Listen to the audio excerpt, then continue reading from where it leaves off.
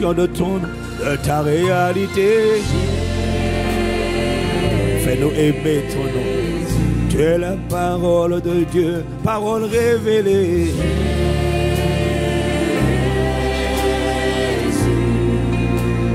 Jésus, Jésus,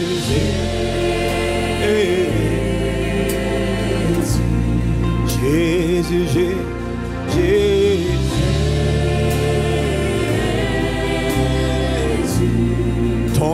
Ton nom, est lumière, amour, allez, ton esprit terre mon âme, ta parole éclaire mon sentier. Jésus, je t'aime,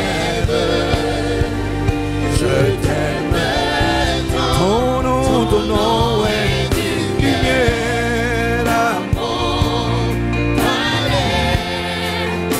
ton esprit les mon âme, ta parole éclaire mon sentier. Jésus, je t'aime. Jésus, je t'aime, je t'aime. T'aime. Jésus, je t'aime. Jésus, je t'aime. J'aspire à t'aimer. Jésus, je t'aime. J'aspire à t'aimer. Jésus, je Jésus, je t'aime. J'aspire à t'aimer. Jésus, je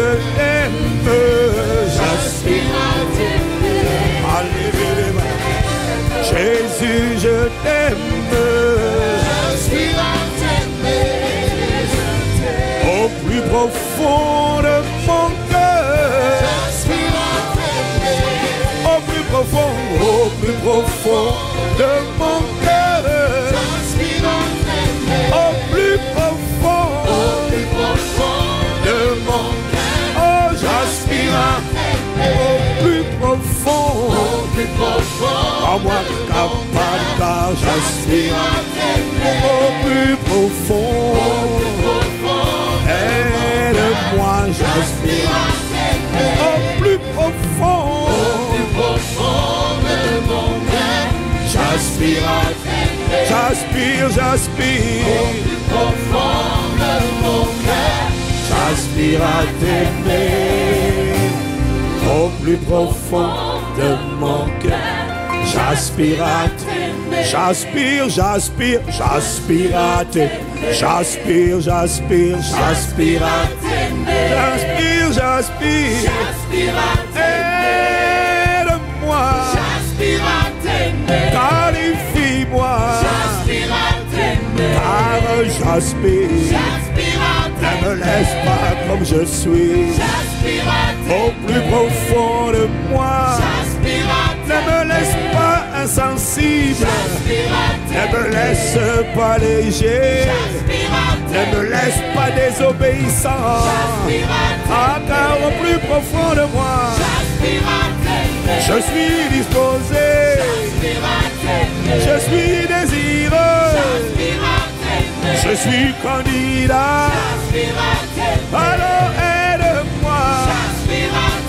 au plus profond de moi, j'aspire. Combien j'aspire. Combien j'aspire. C'est la soif de mon cœur. Le désir de mon cœur. C'est de serrer ta parole. Et de la pratiquer car ne me laisse pas indifférent. Ne me laisse pas désobéir. Car au plus profond de moi. J'ai la volonté, mais pas la capacité. Alors déverse, déverse ta grâce. Car au plus profond de mon cœur, car au plus profond de mon âme, au plus profond à moi capable car, à ma père, au plus profond de moi, déverse ta capacité. Quand j'ai la volonté, quand j'ai le désir, alors qualifie-moi. Que je sois connu dans ma génération.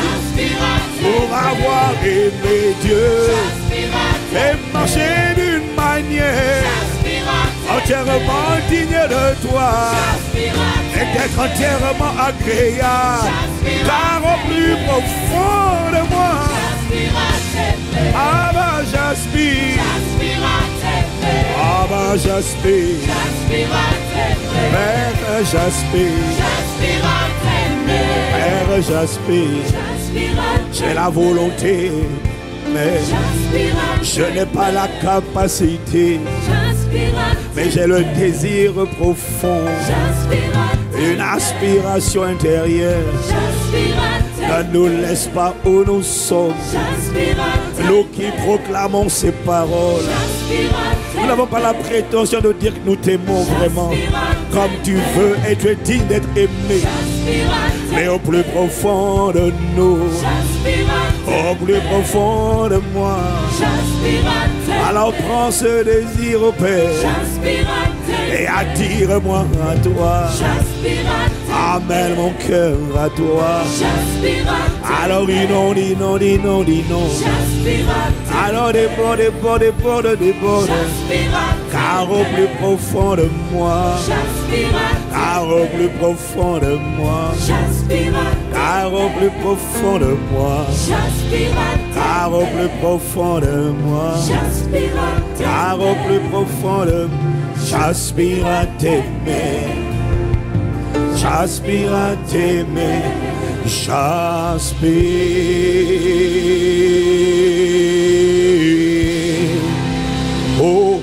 J'aspire. J'aspire, j'aspire, j'aspire. Au plus profond de moi. Oh, j'aspire, j'aspire. Combien, combien, combien j'aspire.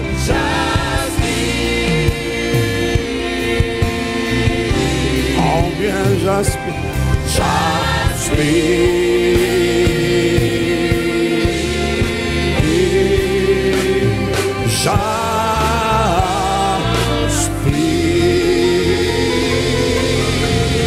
C'est la prière. C'est l'aspiration. C'est le désir. C'est le soupir de nos cœurs. Entends et réponds par ta capacité, par ton onction, par ta grâce, par tes compassions, ton immense bonté. Fais-les surabonder. Merci pour une semaine de plus. Ce n'est pas un droit, c'est une grâce. Nous ne la méritons pas. Nous l'avons reçue comme un don de Dieu. Alors accorde-nous la grâce de maximiser cette semaine. Accorde-nous la grâce de porter du fruit cette semaine. Le fruit de la justice, le fruit de la repentance, le fruit de l'obéissance. Accorde-nous la grâce de racheter le temps, de marcher d'une manière digne de toi, digne du Seigneur, et te faire entièrement plaisir et d'être entièrement agréable. Portant du fruit en toutes sortes de bonnes œuvres, croissant dans la connaissance de Dieu, fortifié à tous égards par ta puissance glorieuse, en sorte que nous soyons toujours avec joie, persévérants et patients. Colossiens chapitre 1, verset 12 à 14. Et te remercions de ce que tu réponds à l'aspiration de nos cœurs, qui est en harmonie avec ta volonté. Inspire les paroles de nos bouches et les pensées de nos cœurs. Bâtis ton église, guéris ton église, délivre ton église. Déploie ton église. Redresse ton église. Étire ton église. Propulse ton église. Fais briller ta lumière. Fais impacter ton sel. Fais ce que tu veux infiniment au-delà de ce que nous te demandons ou nous pensons.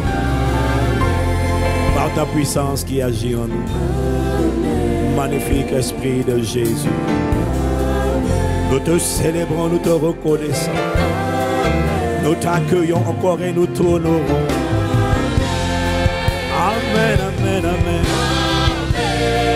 Amen, amen, amen. Amen, amen, amen.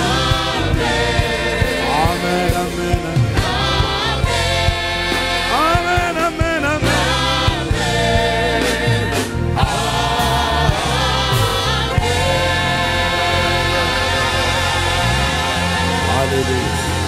Bienvenue à Impact Centre Chrétien. Bienvenue à vous qui êtes là. Dis à ton voisin, ta voisine, bienvenue. Nous sommes contents chaque dimanche de nous retrouver dans sa présence. Là aussi, bienvenue à ceux qui sont en direct avec nous sur Internet ou en différé demain. Bienvenue, we are the family. Nous sommes une famille. We are the family. Tu avais compris ça, tu avais compris ça. Alléluia, gloire à Dieu. Amen. Et avec moi, gloire à Dieu. Avant de vous asseoir, je vais donner deux, deux informations importantes. La première nous concerne. Vous avez vu qu'il y a une tente à l'extérieur, une tente supplémentaire qui est appelée, que nous avons appelée la tente de la convivialité. Donc, quand le culte est fini, s'il fait froid, tu peux aller prendre un thé ou un café. Euh, on avait besoin de ce genre d'espace de communion fraternelle. Amen. Ce n'est pas, ce n'est pas encore ce à quoi ça va ressembler demain. Parce que dans un an et demi, on aura plus de, plus de 1500 mètres carrés d'espace, de- comme dans un aéroport. Ça, c'est dans le prochain site. Pour l'instant, on fait avec les moyens de bord, mais on essaie de, on essaie de progresser. Parce qu'on reconnaît que c'est un besoin de pouvoir communier les uns avec les autres. Donc, il y a des manches debout, il y a des manches debout. C'est ça, on appelle ça manche debout, non? Voilà. Ah, Oh, c'est joli, dis donc. Non, c'est non, c'est pas mal, hein, c'est déjà bien. Vous savez, il faut, il faut aimer la mentalité de la tente. Avant la construction du tabernacle, en dur, Dieu les avait fait voyager avec la tente. Donc on est comme ça. Avant qu'on aille là-bas, là, là où ça va être euh, le centre des congrès, l'hôtel royal, c'est bien de commencer avec les tentes. Ça permet d'apprécier encore mieux demain ce. Toi, non? Mais on commence avec la tente. Merci Seigneur pour la tente de la convivialité. Waouh Bon. Ce n'est pas la tente des rencarts. Non, mais pourquoi pas? Tant que c'est dans la sainteté, il n'y a pas de problème. Voilà. Tu peux faire des rencarts dans la sainteté. Sainte La deuxième annonce.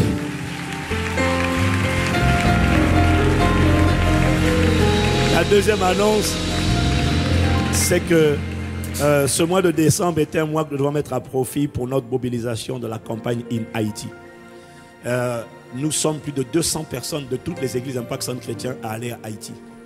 Plus de 200 personnes. De tous les campus. Waouh!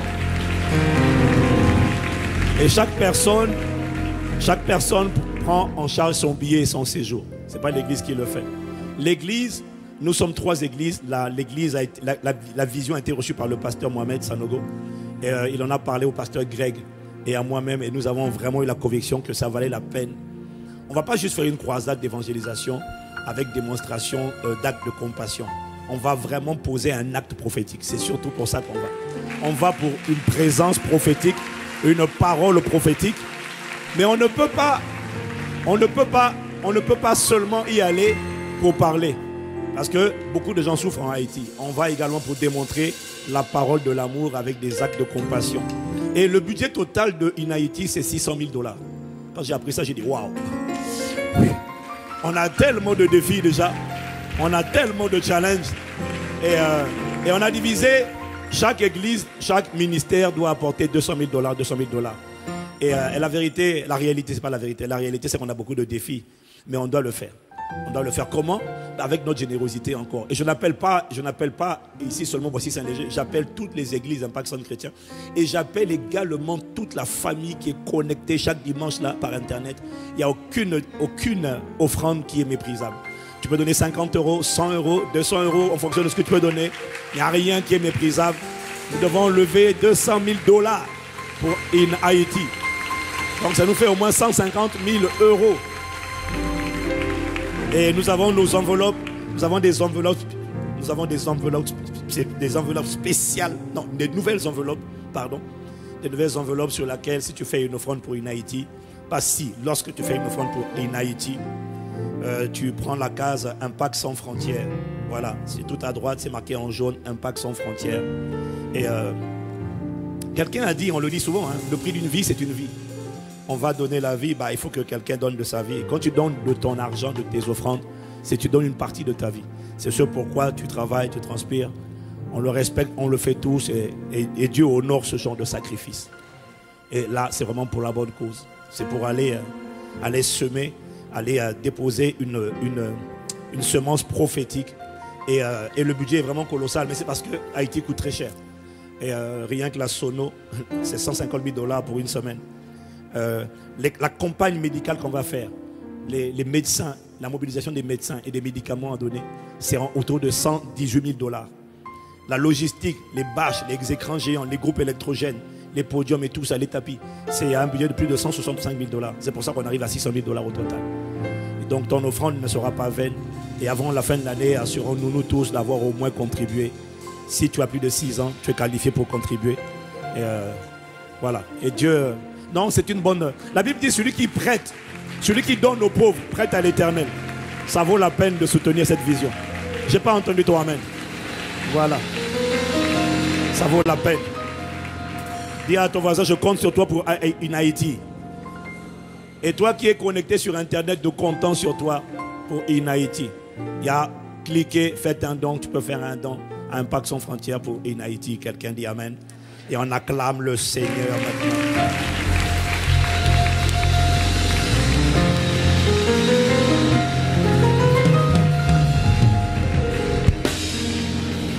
Merci Père. Le prix d'une vie, c'est une vie. Accorde-nous la grâce. Tu as dit qu'il y a plus de joie à donner qu'à recevoir. Alors accorde-nous la grâce de toujours voir comme un honneur, un privilège et une joie le fait de donner pour que d'autres reçoivent la vie. Merci Seigneur pour notre contribution, notre générosité. Nous ne savons pas comment tu vas faire cette mobilisation. Mais Seigneur, merci de ce que, avec la participation de chacun d'entre nous, le rêve sera réalisé la, porte, la parole prophétique, la présence prophétique, le dépôt prophétique sera déposé à Haïti. Merci de ce que les ténèbres ne régneront pas sur Haïti. Parce que sur Haïti, ta gloire se lève. Merci Seigneur. Merci pour cette unité des ministères. Merci pour cette unité des églises. Merci Père. Au nom de Jésus. Amen. Et nous ne le faisons pas seulement tout seul à Haïti. Nous avons l'appui de la Fédération protestante d'Haïti et de plusieurs, plusieurs dizaines d'églises qui sont mobilisées pour ce programme-là à Haïti et ça passe à la télévision. Et tout cela, ce sont des coûts. Nous sommes soutenus euh, physiquement et financièrement, c'est nous-mêmes qui devons assumer, nous, les trois, les trois ministères. Mais gloire à Dieu, parce que c'est nous qui avons reçu la vision et on va y aller. Amen. Acclame encore le Seigneur. Amen, amen.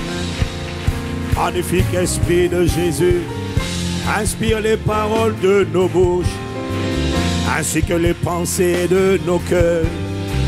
Amen, amen, amen, amen. Amen, amen, amen, amen. Nous comptons sur ta grâce. Nous comptons sur ta capacité. Inspire ta parole.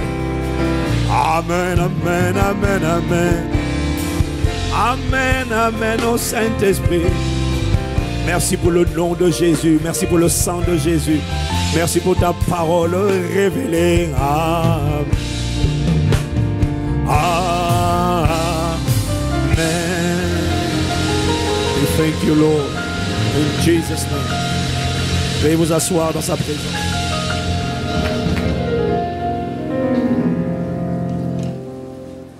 Alléluia. Quelqu'un me dit gloire à Dieu. Donc si tu ne viens pas à Haïti, tu peux venir quand même. Comment, pasteur Ivan Avec ton offrande, on va y aller. Voilà. Quelqu'un dit encore gloire à Dieu. Nous continuons de parler de prière, de vie de prière. Et le titre de mon message aujourd'hui s'intitule, ça sera toujours la continuité, mais je vais revenir à ce que j'avais mis en stand-by depuis deux ou trois semaines. Euh, je vais revenir à pourquoi, pourquoi est-ce que les croyants ont cru, mais continuent quand même de désobéir à Dieu. Donc le titre de message va euh, s'intituler Faites la guerre aux mauvaises pensées. J'aurais aussi pu dire comment se libérer des mauvaises pensées. Entends par là les mauvais sentiments, les mauvaises émotions que tu sais être mauvaises. Est-ce que quelqu'un est avec moi? Le Seigneur nous prépare à entrer dans une nouvelle dynamique de prière de l'Église locale, où nous associons la prière efficace à la prière persistante. On a dit que la prière efficace, c'est la prière que Dieu, la prière efficace, c'est la prière que Dieu exauce. La prière persistante, c'est la prière que Dieu a déjà exaucée, mais qui n'est pas encore manifestée et qui exige, qui requiert une plaidoirie nuit et jour jusqu'à ce que, c'est ce qu'on appelle la persévérance, jusqu'à ce que l'ennemi lâche et il lâchera. L'association de ces deux clés, à la fois la prière efficace et la prière persistante, égale engendre la prière qui n'échoue jamais, c'est-à-dire la prière où l'on voit la manifestation de ce pourquoi on a prié. Il ne s'agit pas que de prier, il faut voir la manifestation. Et voir la manifestation requiert la prière efficace et la prière persistante. Bien aimé, j'ai la conviction maintenant, je suis vraiment certain qu'il y a une dimension de prière qui n'échoue pas. Voilà, je suis certain que toutes les formes de prière toutes les prières, les requêtes, les supplications adressées à Dieu peuvent, voir, peuvent être manifestées. Je suis convaincu qu'il n'y a aucun cas qui soit impossible. Avec la foi et la prière à la fois efficace et persistante, tout peut être manifesté. Et avec moi, tout est possible. Donc voilà pourquoi il est indispensable pour nous de nous assurer de l'efficacité, de la productivité euh, de notre vie de prière, puisqu'on a vu que la vie de prière est le centre névralgique, c'est le moteur. Tout part de la vie de prière de la nouvelle création. Tout, tu peux, en fait, c'est par la prière que tout ce que Dieu t'a déjà donné, tout est déjà accompli. C'est par la prière qu'on peut emmener à manifestation tout ce qui est déjà accompli. Même à l'intérieur de toi, Dieu a déjà tout mis. Vous avez tout pleinement en Christ, qui est le chef de toute autorité et de toute domination. L'autorité, la puissance, la sagesse, l'amour, l'humilité, le caractère, l'intelligence, la créativité, le discernement, la faveur, les accès, même la productivité, tu vas me dire même l'argent, même la richesse tout est à l'intérieur de toi et tout va être manifesté par la prière. Je ne suis pas en train de te dire que la prière emmène l'argent, non. Mais en fait, par la communion avec le Saint-Esprit, tu recevras de la créativité, tu recevras des instructions, tu recevras des directives, tu recevras, Pierre, jette là le filet. Et quand tu jettes là le filet, tu attrapes pas un poisson, tu attrapes carrément des filets de poissons, que ce soit ton partage au nom de Jésus. Mais tout dépend de ta vie de prière. Je n'ai pas entendu toi, Amen. Et alors, je vous ai dit que Satan est tellement rusé que si Satan veut combattre ta puissance, ton autorité, ton caractère, ton éclat, ta lumière, ta splendeur, ce qu'il doit combattre, c'est ta dynamique ou c'est ta vie de prière. Parce que s'il bloque ta vie de prière, il bloque ta vie. Parce que la prière, c'est la respiration de la nouvelle création. Tout part de la prière. Je n'ai pas entendu ton Amen. Et donc, Satan est rusé. Et pour bloquer ta vie de prière, donc pour bloquer ta vie, il va tout faire pour nous emmener, toi et moi, à la désobéissance, parce que nous avons vu que la désobéissance est le dénominateur commun à tous les blocages, les obstacles à la prière. On avait dit qu'ils ont un seul mot, qui s'appelle la désobéissance. Et on avait posé la question la dernière fois, mais pasteur Ivan, pourquoi est-ce que les croyants, que les, les athées, les incroyants désobéissent à Dieu? C'est normal, c'est la moindre des choses. Mais pourquoi est-ce que des gens, des croyants qui ont cru, choisissent néanmoins de désobéir à Dieu? Est-ce que c'est parce qu'ils n'en ont rien à faire de Dieu? Est-ce que c'est parce qu'ils se fichent de Dieu? Et je vous ai dit absolument pas du tout. Ce n'est pas qu'ils se fichent de Dieu. Il y a plusieurs raisons pour lesquelles quelqu'un qui a cru, quelqu'un qui a cru dans le Seigneur, qui est bien disposé avec Jésus, Jésus a dit l'esprit est bien disposé. Mais la vérité, c'est que ça ne suffit pas. On peut être disposé, on peut vouloir obéir, mais choisir la désobéissance. Alors la question c'est pourquoi? Et ce matin, je vais voir avec vous la première raison, mais en fait qui sera la continuité du message des deux dernières semaines, la première raison pour laquelle les gens désobéissent. Qui a envie d'être trouvé désobéissant à Dieu? Puisque ta désobéissance, c'est ça qui bloque tes prières. Tu as envie de désobéir? Ah, qui a envie d'obéir? Les autres sont neutres. Waouh mais laisse-moi te dire une chose, à la fin de la journée, tu vas comprendre et tu dois comprendre qu'en réalité, tu obéis toujours à quelqu'un. La seule question, c'est à qui est-ce que tu obéis? Dis Amen. Voilà. Moi, je, choisis l'obéissance à Dieu. Mon, obéissance ne sera pas accidentelle. Je prêté allégeance à l'agneau de Dieu. Je choisis l'obéissance à Dieu. Quelqu'un dit Amen. Donc, pourquoi est-ce que les gens qui ont cru désobéissent quand même, sachant qu'en désobéissant, ils sont eux-mêmes les artisans de leur propre blocage. Ta désobéissance ne bloque pas ton voisin, ta désobéissance bloque toi. Les flots divins qui sont en toi sont bloqués. Donc, tu n'as pas d'autre choix que l'obéissance. C'est pour ton bien. Quand tu dis à un enfant ne touche pas, ne mets pas ta main sur le feu, c'est pour son bien. Fais le caprichet. Pourquoi? Je veux toucher la gazine. On lui dit ne touche pas. C'est pour son bien. Tout ce que Dieu te dit, c'est pour ton bien. Aime, honore, pardonne. Ce n'est pas pour ton voisin, c'est pour toi. C'est toi que tu veux protéger. Dis avec moi l'obéissance. Alors pourquoi donc les, pourquoi est-ce que les, croyants qui ont cru on arrive quand même à désobéir? Alors la première raison que je vais voir aujourd'hui avec vous, c'est que les gens désobéissent parce que leur âme est oppressée et que leur esprit est trop faible pour amener leur âme à obéir. C'est le prolongement de ce que j'ai dit la semaine dernière.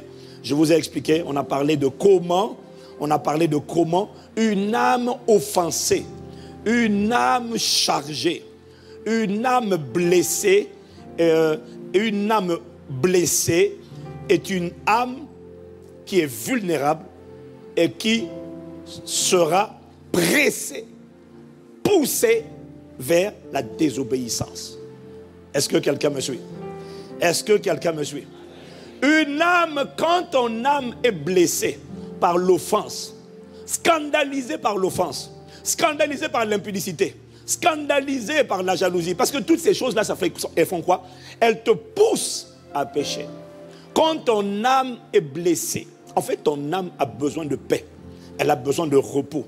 Mais quand ton âme est agressée, cette agression vise à la faire pécher.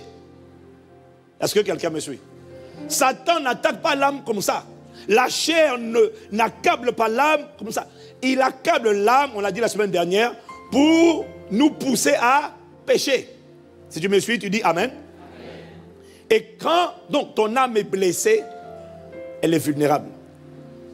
Elle est à la merci, elle, va être tentée de pécher. Et quand ton âme est blessée, il y a une chose que tu dois être, admettre. Quand ton âme est blessée aujourd'hui, quel que soit ton titre, euh, quand ton âme est blessée, même si tu étais mature, même si tu avais été déclaré mature hier, la maturité spirituelle. Quand ton âme est blessée, ton âme est blessée aujourd'hui, ça veut dire qu'aujourd'hui, tu es charnel. Ça veut dire que tu es contrôlé par les passions et les désirs de la chair. Est-ce que quelqu'un me suit? Est-ce que quelqu'un me suit? Tu peux avoir été spirituellement mature hier. La maturité, tu vois, dans le monde naturel, quand tu es devenu majeur, tu as dépassé 18 ans, tu as dépassé 18 ans. Est-ce que quelqu'un me suit? Est-ce que quelqu'un me suit? Quand tu as dépassé 18 ans, tu as dépassé 18 ans, c'est fini, on ne peut plus revenir en arrière. Dans le monde spirituel, tu peux avoir été déclaré mature hier. C'est Dieu qui atteste de ta maturité. Ta maturité est visible lorsque les œuvres de la chair, l'impudicité, la jalousie, le rejet, l'amertume, tout ça, lorsque ces, ces choses-là ont été complètement guéries, restaurées, et que désormais en toi, on ne trouve que le fruit de l'esprit, l'amour, la paix, la joie, la douceur, la bonté, la tempérance, et non seulement on le trouve, mais il demeure. C'est là qu'on parle de la maturité spirituelle. Mais le problème, c'est que la maturité spirituelle, ce n'est pas comme la majorité dans le monde naturel. La maturité spirituelle, tu peux la voir aujourd'hui et la perdre demain.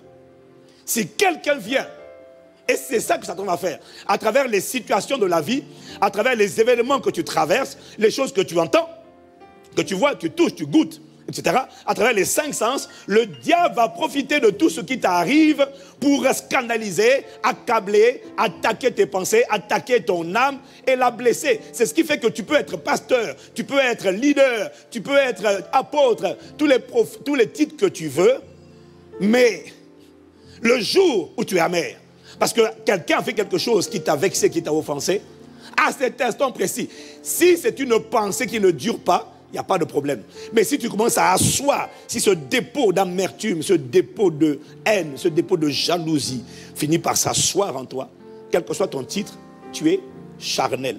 C'est-à-dire que tu es rempli des passions et des désirs de la chair. Est-ce que quelqu'un me suit? Ça veut dire qu'en fait, rien n'est acquis.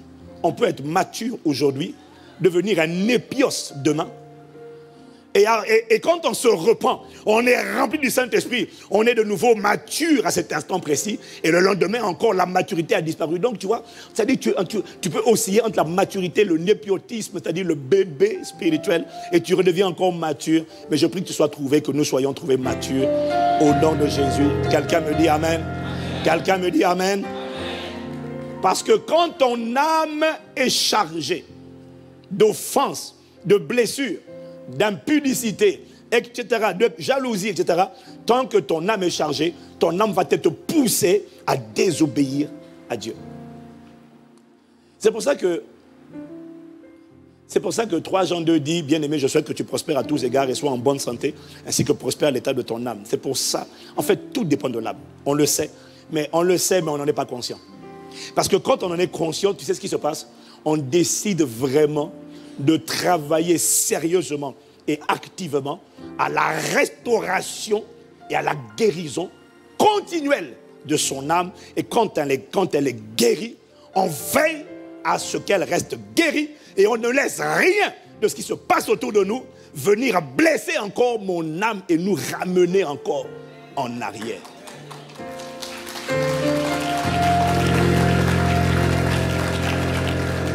C'est pour ça que chacun d'entre nous doit travailler, œuvrer à la restauration de son âme. Je n'ai pas entendu Amen. Obéir ou désobéir se situe ou se décide au niveau de ton âme. C'est pour ça que c'est ton âme qui est la cible. Quand on parle de l'âme, on parle du cœur. C'est l'âme qui est la cible du diable, la cible de la chair, la cible du monde. Parce que l'âme est le centre du mouvement et de la décision. Le mouvement vient de l'âme. L'esprit est bien disposé, formidable, mais ça ne suffit pas. Il faut que l'âme soit restaurée. Il faut que l'âme soit conquise. Il faut que l'esprit ait sa main sur l'âme pour dire à l'âme, on obéit. L'esprit, c'est toi. Tu n'es pas une âme, tu es un esprit. Mais ça ne suffit pas. Il faut que ton âme soit rééduquée, restaurée discipliné. Quelqu'un me dit Amen. Le, quand ton âme est blessée, ton âme va être pressée, va être oppressée, va être poussée à pécher. Ézéchiel 18, verset 20, nous dit l'âme qui pêche, c'est celle qui mourra. Dis Amen. L'âme qui pêche, c'est celle qui mourra. Et euh, donc 3 Jean 9, 3 Jean, pardon, 3 Jean, 1 euh, Jean 3, oh là là. 1 Jean 3 au verset 9. Si tu es né de nouveau, Jean nous explique, quiconque est né, est né de Dieu ne pratique pas le péché, Parce que la semence de Dieu demeure en lui.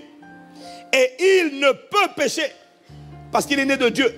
Toi là, toi qui m'écoutes là, toi qui me regardes, toi qui es né de nouveau, si tu as accepté Jésus, tu ne peux pas pécher.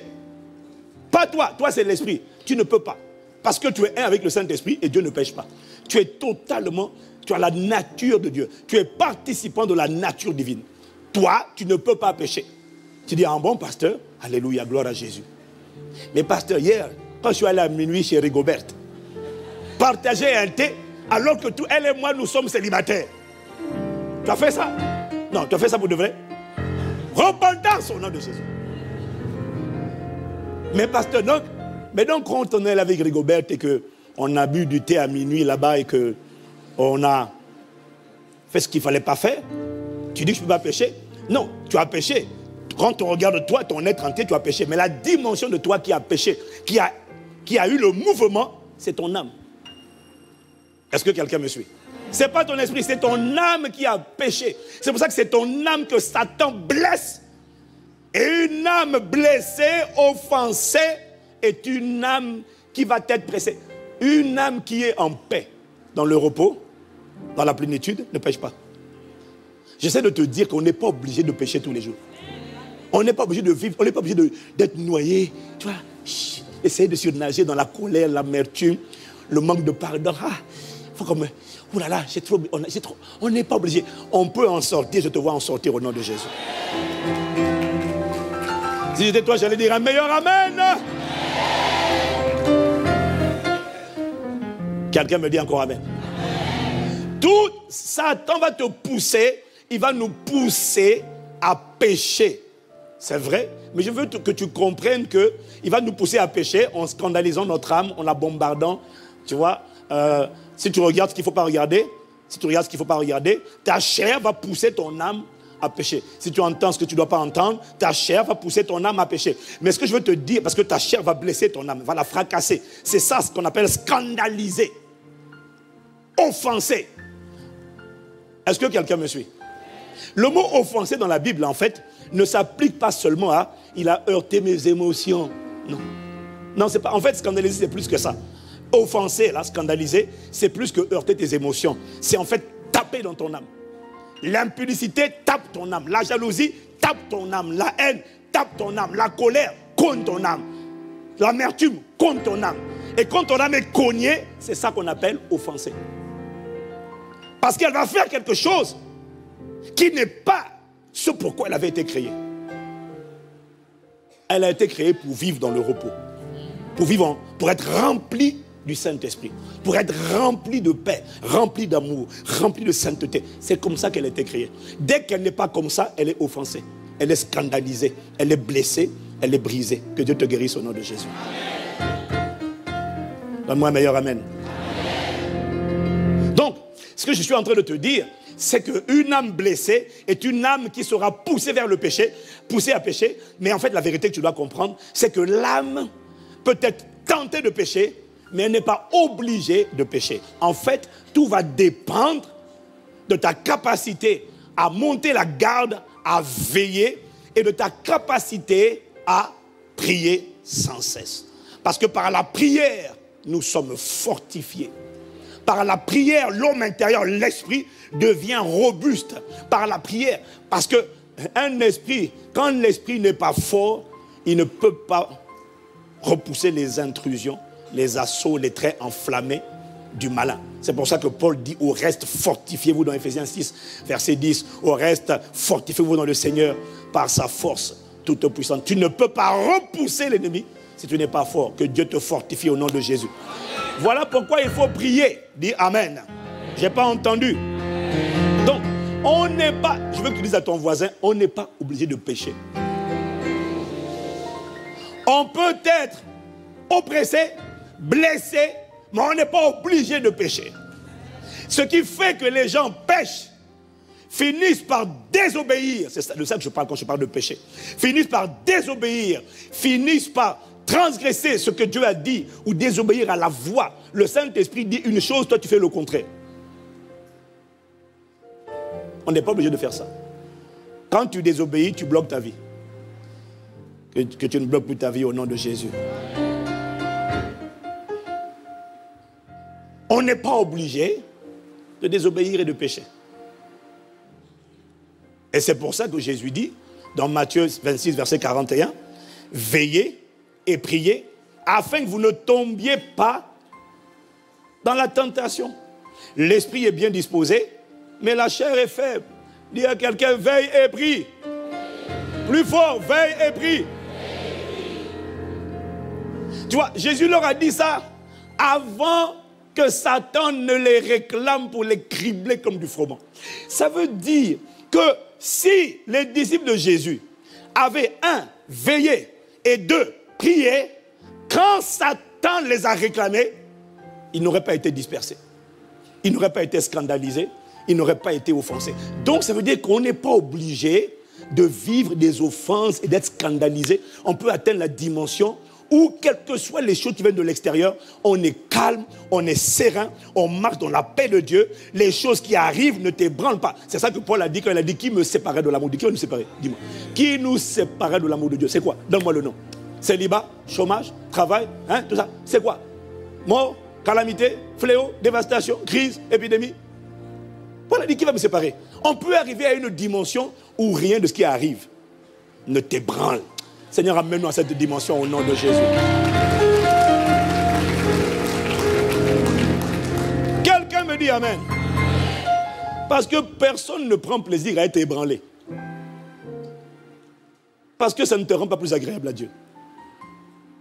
Ça ne suscite pas plus d'âme. Ça ne suscite pas. Tu vois, Dieu n'a pas. Dieu, Dieu ne dit pas, oh, il est tellement, elle est tellement démantelée, tellement amère et frustrée et en colère que je vais agir. Non, c'est une, tu crées une odeur qui repousse Dieu. Dieu est attiré par la foi. Dieu n'est pas attiré par les lamentations. Oh, j'en ai marre, si c'est comme ça, je me suicide. Quand c'est comme ça, les anges, ce genre de langage-là n'attire pas l'intervention divine.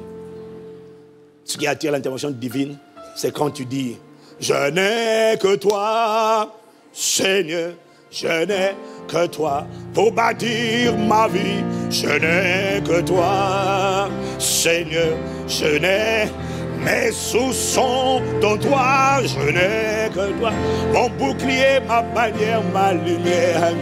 Tu es mon espérance de gloire, je n'ai que toi, Seigneur, je n'ai que toi.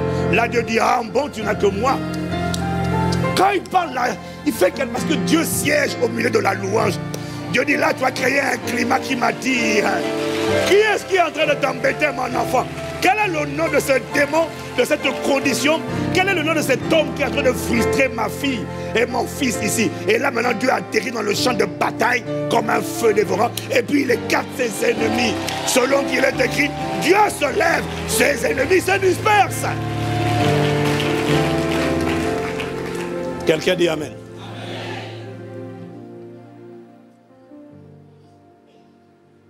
L'obéissance attire Dieu. Parce qu'elle réjouit Dieu. La désobéissance ne le pousse pas à agir. Je te vois choisir l'obéissance au nom de Jésus. Quelqu'un me dit Amen. Voilà, c'est pour voir si tu suis.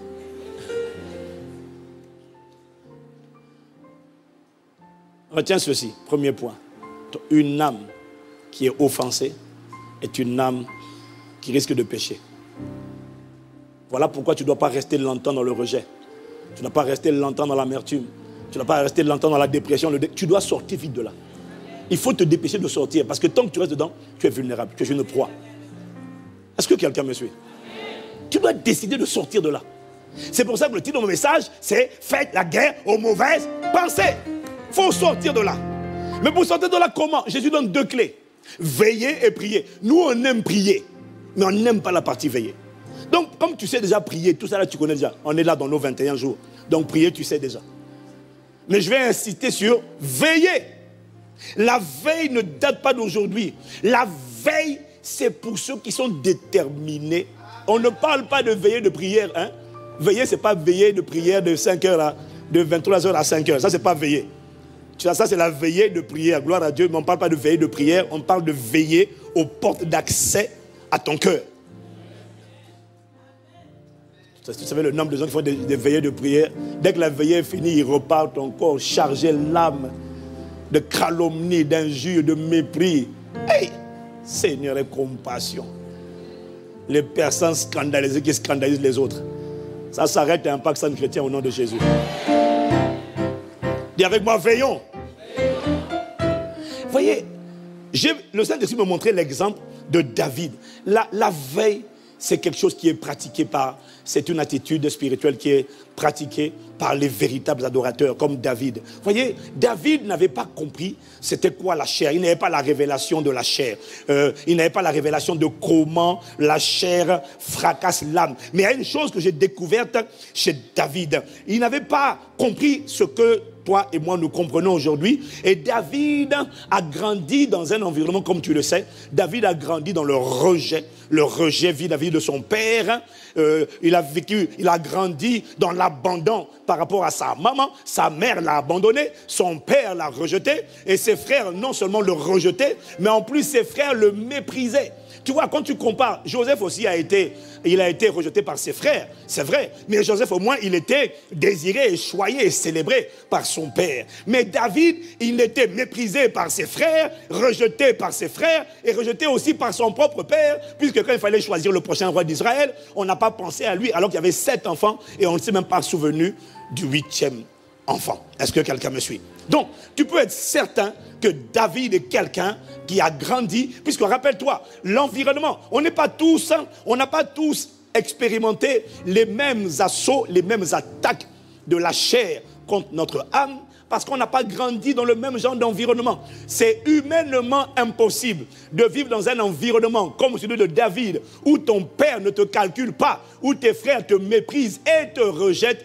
C'est impossible d'avoir grandi dans ce genre d'environnement et de n'être pas pressé par des, passions charnelles appelées colère, appelées tristesse, appelées découragement, appelées abattement, appelées dépression. C'est impossible. Parce que l'environnement dans lequel tu te trouves détermine ce qui va t'agresser. Est-ce que quelqu'un me suit? Est-ce que quelqu'un me suit? Donc David a connu ça. David a connu le rejet. David a connu la tristesse. Je suis sûr qu'il disait des fois, qu'est-ce que j'ai fait au bon Dieu? Lui aussi devait se dire ça. C'était du moins des pensées qui venaient. il était forcément saisi par des pensées d'apitoiement.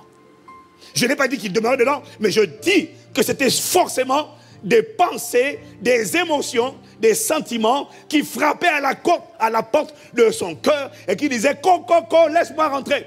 Tu es qui? Je suis l'esprit d'apitoiement l'esprit de découragement, l'esprit d'amertume, l'esprit de colère. Pourquoi moi? Pourquoi c'est moi qu'on envoie pour faire les sales besognes? Et quand il faut établir le prochain roi d'Israël, on ne pense même pas à moi. Je laisse moi, je suis l'esprit de rejet, je vais habiter en toi, tu as besoin de moi, moi, moi je te comprends, je me déguise, je suis le rejet. Mais en fait, il faut que je reste en toi. Pourquoi? Parce que à cause de ce que tu as vécu, il faut que je sois avec toi. C'est tous ces démons ont forcément frappé à la porte de son cœur. Et en plus, il n'était pas né de nouveau. Donc, il n'avait pas le Saint-Esprit à l'intérieur de lui. Mais, même sans avoir le Saint-Esprit, David, parce que c'était un amoureux de Dieu, parce que c'était un véritable adorateur, David savait, David savait, David savait que toute émotion d'apitoiement, de tristesse, de peur, d'abattement, de colère, David savait que toute émotion qui n'était pas de Dieu. Parce qu'on sait ce qui est de Dieu, et on sait ce qui n'est pas de Dieu. Dieu est amour, Dieu est toujours joyeux, on sait. David savait que toute émotion, pensée, sentiment, qui n'est pas de Dieu, malgré qu'il n'ait pas le Saint-Esprit, malgré ce qu'il a vécu dans son enfance, David savait que toute émotion qui n'est pas de Dieu ne devait être ni subie, ni tolérée, ni acceptée, mais devait être haïe, elle devait être combattue, elle devait être renversée. Il le savait. Et c'est pourquoi il a écrit le psaume que toi tu lis dans le psaume 43, verset 5. Toi et moi, on le lit. Mais lui, c'était, il n'a pas écrit ça pour faire plaisir. Il a écrit parce que c'était son expérience. Quand il a dit pourquoi tu as battu mon âme et j'ai mis tu au-dedans de moi, hein? espère en l'éternel. Espère en Dieu, car je le louerai encore. Il est mon salut et mon Dieu, mon âme. Tu ne sais pas qui est le Dieu que je prie. Tu ne sais pas quel est le Dieu que j'invoque. Tu ne sais pas quel est le Dieu en qui je crois. Je vais te dire, mon âme, je t'interdis l'apitoiement. Je t'interdis l'abattement. Oui, mais. Et puis là, une fois le dire, une fois vient le dire. Ouais, mais tu as besoin de moi là quand même parce que regarde tout ce que tes frères te font. Je suis l'esprit de haine. Je suis l'esprit de colère. Je suis l'esprit d'amertume. Il faut que tu me laisses rentrer en toi parce que là, des gars, ils exagèrent. Regarde ce qu'ils ont fait. Ils te maltraitent. Ils abusent de toi verbalement, physiquement. Comme tu es le dernier. On te tape sur la tête. On te tape des talons comme ça là. Allez, petit gifle. Allez. Hein? Ils abusent forcément. Laisse-moi rentrer en toi. David savait, malgré ce qu'il a enduré, ce qui est impressionnant, c'est que quand il a écrit ça, il est en train de décrire une lutte. Hein. Il refuse que toute émotion autre que la paix, autre que la joie, autre que la foi, il refuse que toutes ces choses-là s'assiedent dans son cœur. Il refuse. Et il prend son âme à bras le corps. Il dit non. Parce que s'il dit pourquoi tu as battu mon âme, ça veut dire que son âme était déjà piquée. Ça veut dire que son âme était déjà atteinte. Ça veut dire que tout ce qu'il était en train d'endurer était en train de le cogner. Mais il n'a pas dit qu'il va s'asseoir. Le problème de notre génération, c'est qu'on s'assied. Tu sais que tu es amer, tu sais que tu as besoin de reconnaissance, tu sais que tu te sens rejeté, tu sais que tu te sens coupable, tu sais que tu as l'impudicité, tu sais que tu as la colère, tu sais que tu as la jalousie. Mais David ne restait pas là. David est mon âme. Tu es comme ça pourquoi? Viens ici, espère. Toi, il est en train de dire, il va, viens ici, viens ici. Tu, tu sous-entendu, tu ne vas pas rester avec ça. Tu vas sortir, ces choses vont sortir de toi, mon âme. Moi, je suis un esprit ça ne va pas rester là. Ça ne va pas rester, ça restera pas en moi. En fait, David était en train de pratiquer ce qu'on appelle veiller. C'est ça la veille. C'est ça, veiller. Dis Amen. C'est ça. Veiller, c'est surveiller. C'est surveiller toutes tes pensées et les passer au portique au scanner de la parole de Dieu pour examiner si tes pensées sont conformes à la pensée de Christ et si tes sentiments sont conformes, sont en harmonie avec les sentiments de Christ. Veiller, c'est passer les pensées au filtre de la parole de Dieu, des pensées de Christ, selon qu'il est écrit. Et c'est ça qui est écrit, les pensées de Christ sont expliquées dans, dans Philippiens 4 au verset 8 version du semeur. Enfin, frères, nourrissez-vous de tout ce qui est vrai les pensées de vérité, les pensées nobles, les pensées de justice, c'est-à-dire les pensées, la justice et l'obéissance à la loi, les pensées pures, les pensées d'amour, dignes d'amour ou d'approbation, tout ce qui mérite le respect et la louange, tout ce qui est encouragement, tout ce qui est révérence et respect, ça doit être ça l'objet de vos pensées. Maintenant, s'il y a une pensée de haine, de rébellion, de désobéissance, il y a une pensée d'amertume à la place de l'amour, il y a une pensée de rejet à la place de l'approbation, il y a une pensée d'impureté. À la place de la pureté, il y a une pensée d'injustice ou d'iniquité. À la place de la justice, s'il y a une pensée de mensonge à la place de la vérité, c'est une pensée que vous devez scanner, analyser, et si elle n'est pas de Dieu, vous dites à cette pensée, tu restes dehors, tu n'entres pas, tu ne t'assieds pas sur le trône de mon cœur, tu ne trouveras pas de place en moi.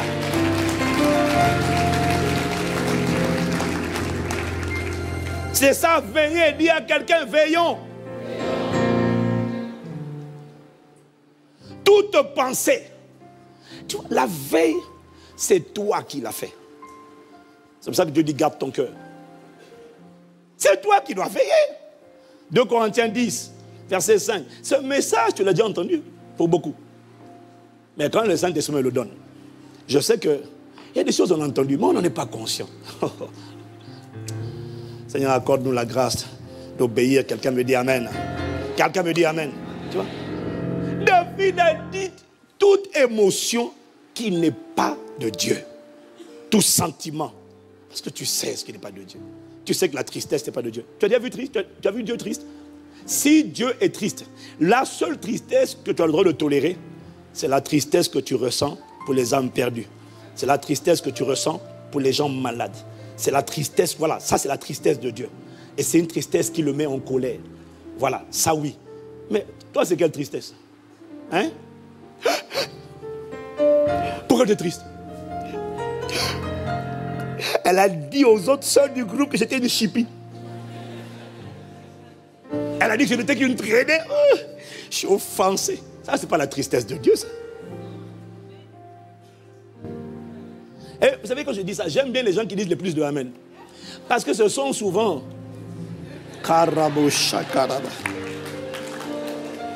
J'aime bien. Partout où je vais. Je suis allé au, Cameroun la, dernière fois. Au début, les gens pour dire Amen, ils prennent carrément des sifflets. Tu sens l'excitation. J'ai dit magnifique, wonderful. Même à Kinshasa, ça paraît partout. Partout, en fait, c'est la culture. En Afrique, on aime mettre l'atmosphère. Maintenant, dès que la parole vient maintenant pour cisailler les cœurs, les sifflets sont tombés des. Waouh! Plus personne ne sifflait. Plus personne ne sifflait. Dis avec moi, waouh!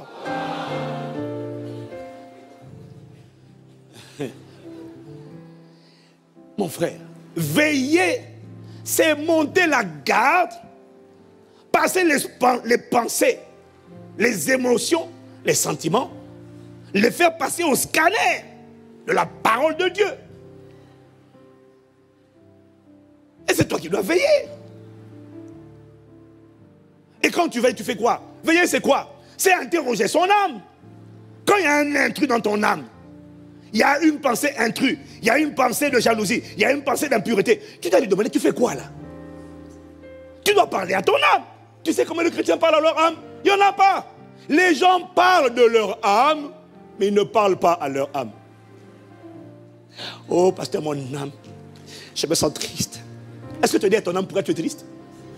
Non, mais je vous le dis à vous, pasteur. Mais tu veux que je fasse quoi? Parle à ton âme. Demande à ton âme. La tristesse, là, c'est pourquoi? Alors, la, la, tristesse va te dire Je suis là à cause de ce qu'on t'a fait. Tu as besoin de moi. Laisse-moi rentrer. On t'a trop fait souffrir. On t'a trahi. Regarde comment ce mari t'a parlé. Si moi je suis toi, je fonds l'âme. Au début, ce sont toujours des suggestions. Mais tu dois tu, dois parler à ton âme. Pourquoi tu es là? À cause de ce qu'on m'a critiqué, on m'a sali. Est-ce que c'est une raison pour que tu sois là? Tu n'as rien à faire à moi Pourquoi? Mais pourquoi je ne peux, pas, être en toi? Parce que je ne vis plus. C'est Christ qui vit en moi. Est-ce que Christ est amer? Non. Est-ce que Christ est en colère? Non. Est-ce que Christ est impudique? Non. Est-ce que Christ euh, est souillé? Non. Est-ce que Christ est jaloux? Non. Bon, jalousie, tu fais quoi là? Ouais, mais c'est parce que elle a pris le gars que tu visais. Non. Est-ce que Christ est jaloux? Non. Ce n'est plus moi qui vis, c'est Christ qui vient à moi. Tu dégages, tu restes dehors, tu sors de là. Eh mon âme, dégage. Toi, jalousie, dégage de mon âme. Mais toi, tu parles de ton âme tout le temps. Tout le temps. Oh, pasteur, je suis triste. Comédienne. Arrête de me parler de je suis triste. Parle à ton âme.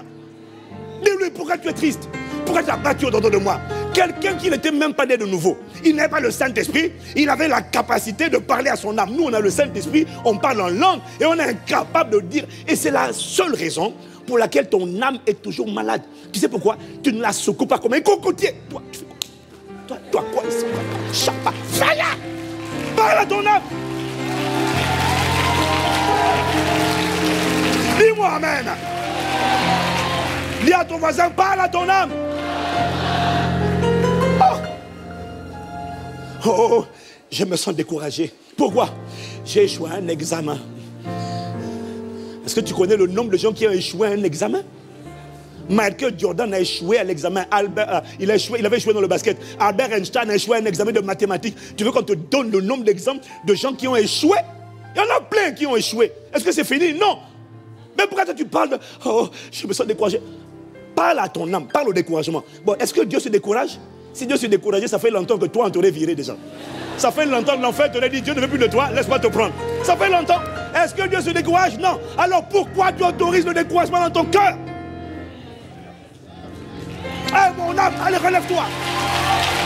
C'est ça.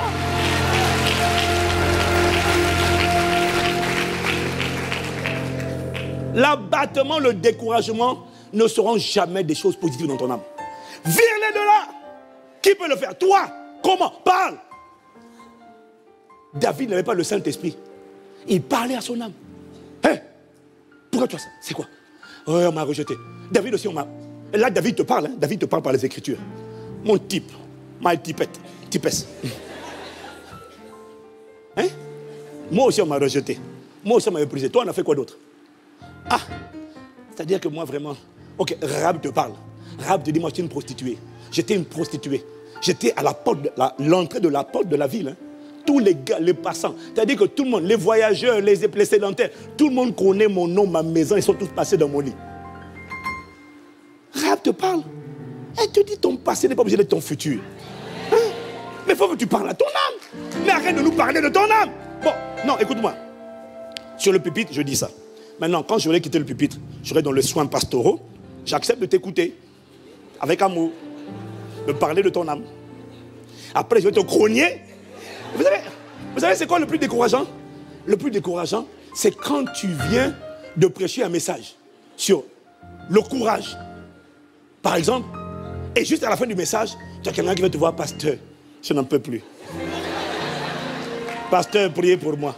Qu'est-ce qu'il y a? Mon frère, ma soeur, qu'est-ce qu'il y a? Sinon, les soeurs vont croire qu'il n'y a que pour les soeurs. Donc, on va dire, mon frère, ma soeur, qu'est-ce qu'il y a? Pasteur, je suis trop découragé. Oui. Euh, ma soeur, tu étais à l'église? Oui, pasteur. Tu as écouté le message? Oui, pasteur. Qu'est-ce que tu as compris? Pasteur, je suis trop découragé. Non, non, oh non, non. Mais maman, la parole est venue pour t'éduquer, te redresser. Mais parle à ton âme. Dis à ton âme, mais pourquoi t'as battu au-dedans de moi, mon âme? Toi, viens ici. Ne parle à ton âme. Dis à quelqu'un, parle à ton âme. Oh Regarde ce que Paul dit qu'il faut faire. 2 Corinthiens 10, verset 5. Il dit, nous renversons 2 Corinthiens 10, verset 5. Nous renversons les raisonnements et toute hauteur qui s'élève contre la connaissance de Dieu. Oui, non, j'ai mis version 8 secondes. Nous renversons les raisonnements et toute hauteur qui s'élève contre la connaissance de Dieu et nous emmenons toute pensée captive. On lui dit, viens ici, tu te soumets, pensée d'impudicité, pensée de rejet, pensée de tristesse, pensée d'abattement. Il y a certains combats. Est-ce que tu en triomphes en une journée? Non. Mais à force d'être violent et de dire, mon âme, tu vois, arrête de parler. Je me sens triste, je me sens découragé, je me sens... Dis à ton âme, Christ n'est pas comme ça. Je refuse d'être comme ça. Je vais te dire une chose. La vérité, tu sais, personne n'est à l'abri. Tout le monde doit apprendre à discipliner son âme. Il y a des choses qui ne vont pas te combattre. Mais moi, j'ai compris, le Saint-Esprit me montrait que l'offense, en tout cas l'offense là, ça va attaquer tout le monde. Ça va attaquer tout le monde. Tout le monde ne sera pas attaqué par l'impudicité. Tout dépend de là où tu es. Mais tu dois parler à ton âme et lui demander, toi tu fais quoi là? Qu'est-ce que toi, pensais de... toi tu es là pourquoi?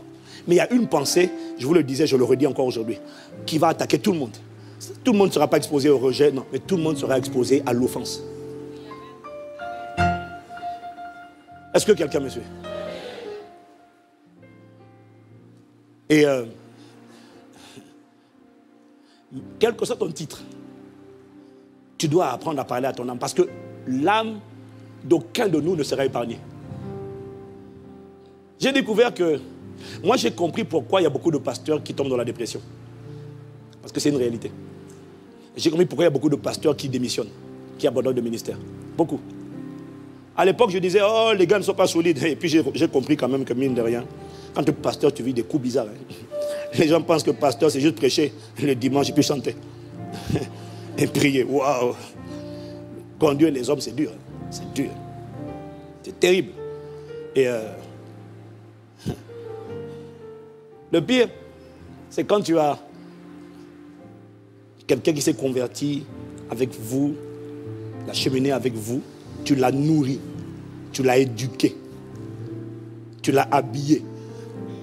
Parce qu'il y en a, ils étaient broke, pauvres. Tu, tu as prié pour lui. Tu as même aidé à écrire les CV. On voyait les CV. Il a trouvé du boulot. Tu l'as marié. C'est vous qui avez payé le mariage. Waouh! Magnifique. Et la personne vient te dire un jour, avec sa femme, on quitte l'église, pasteur. Je dis, mais pourquoi? Il n'y a pas d'amour. Il dit alors, tu sais, que quelqu'un dise qu'il n'y a pas d'amour, il n'y a pas de problème. Mais toi, quand tu dis qu'il n'y a pas d'amour, mon premier réflexe, c'est de dire Fa, cha, Toi, tu dis qu'il n'y a pas d'amour, il n'y a pas d'amour. Toi, on t'a marié, on t'a marié. On a payé, on a financé. La vie va permettre, quel que soit ce que tu fais, des circonstances ou l'offense, l'amertume, va dire là quand même, avec ce que tu viens de prendre comme dose, laisse-moi rentrer en toi. tu as besoin de moi pour te consoler. Je m'appelle l'amertume, là tu as besoin de moi parce que là, non mais il n'y a personne qui est écarté, personne. Mais pourquoi chez certains ça marche et pourquoi chez les véritables adorateurs, ça ne marche pas? Parce que les véritables adorateurs ont dit, mon âme, on va glorifier Dieu. Christ sera révélé. Christ sera visible.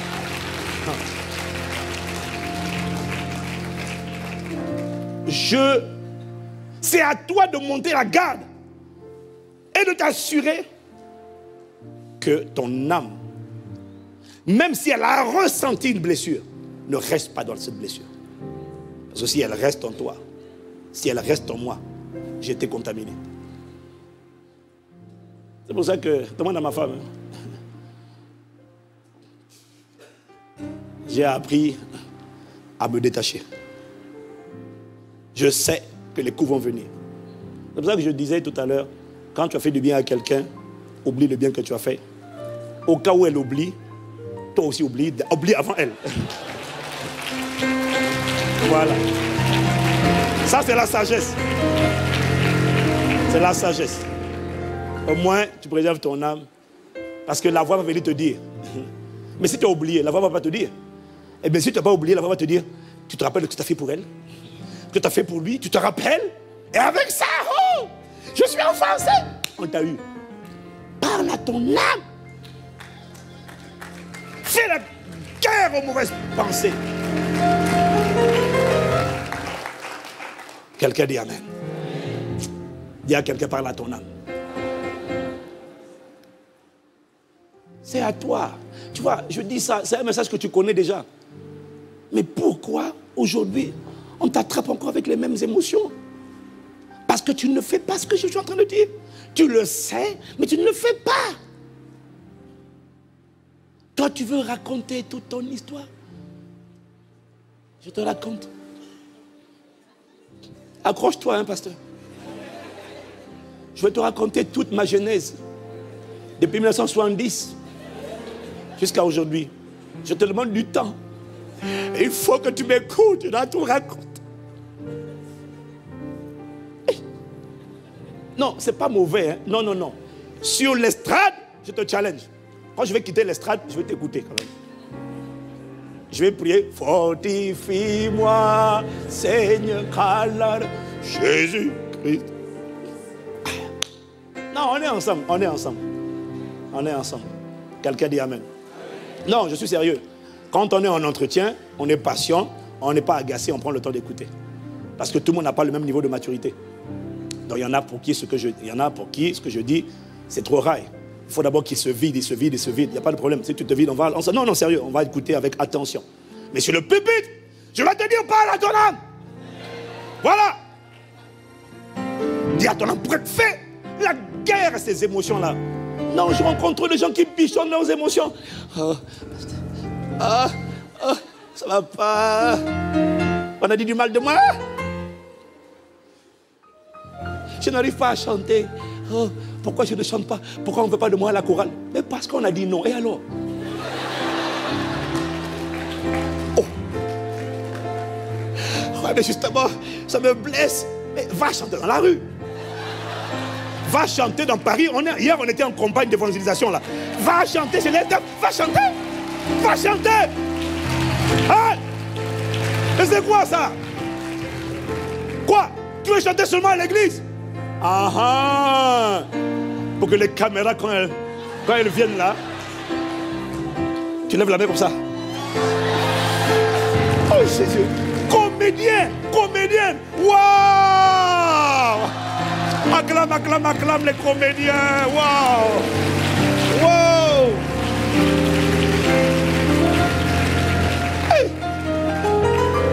hey. le cœur de l'homme. Le cœur de l'homme.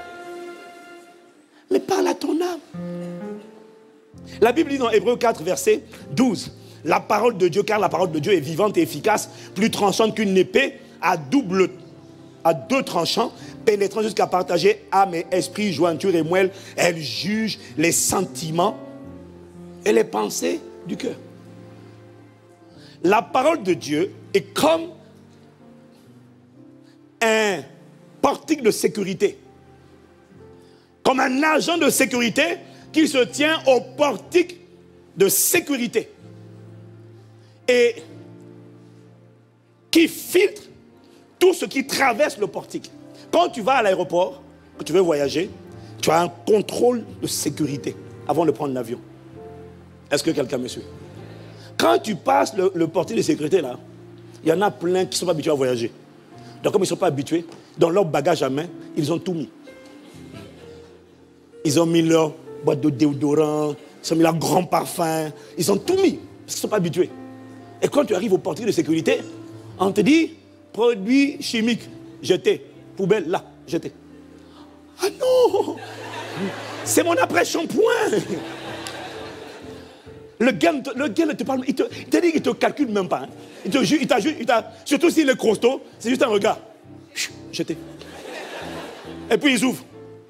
Tu as une bouteille d'eau qui dépasse 100 millilitres. Ah non, mais c'est pour, c'est pour si j'ai, si j'ai soif. jeter. Euh, quoi d'autre encore on demande de jeter là Hein les parfums qui pas tout ce qui pas 100 il faut jeter. Produits chimiques, jeter. Produits explosifs, jeter. Le gars ne te calcule même pas. Quand tu veux essayer d'expliquer, non, mais en fait, je vous explique. En fait, ce produit-là, c'est parce que ne faites pas attention à la taille, c'est parce qu'il est utile pour ça. Jeter.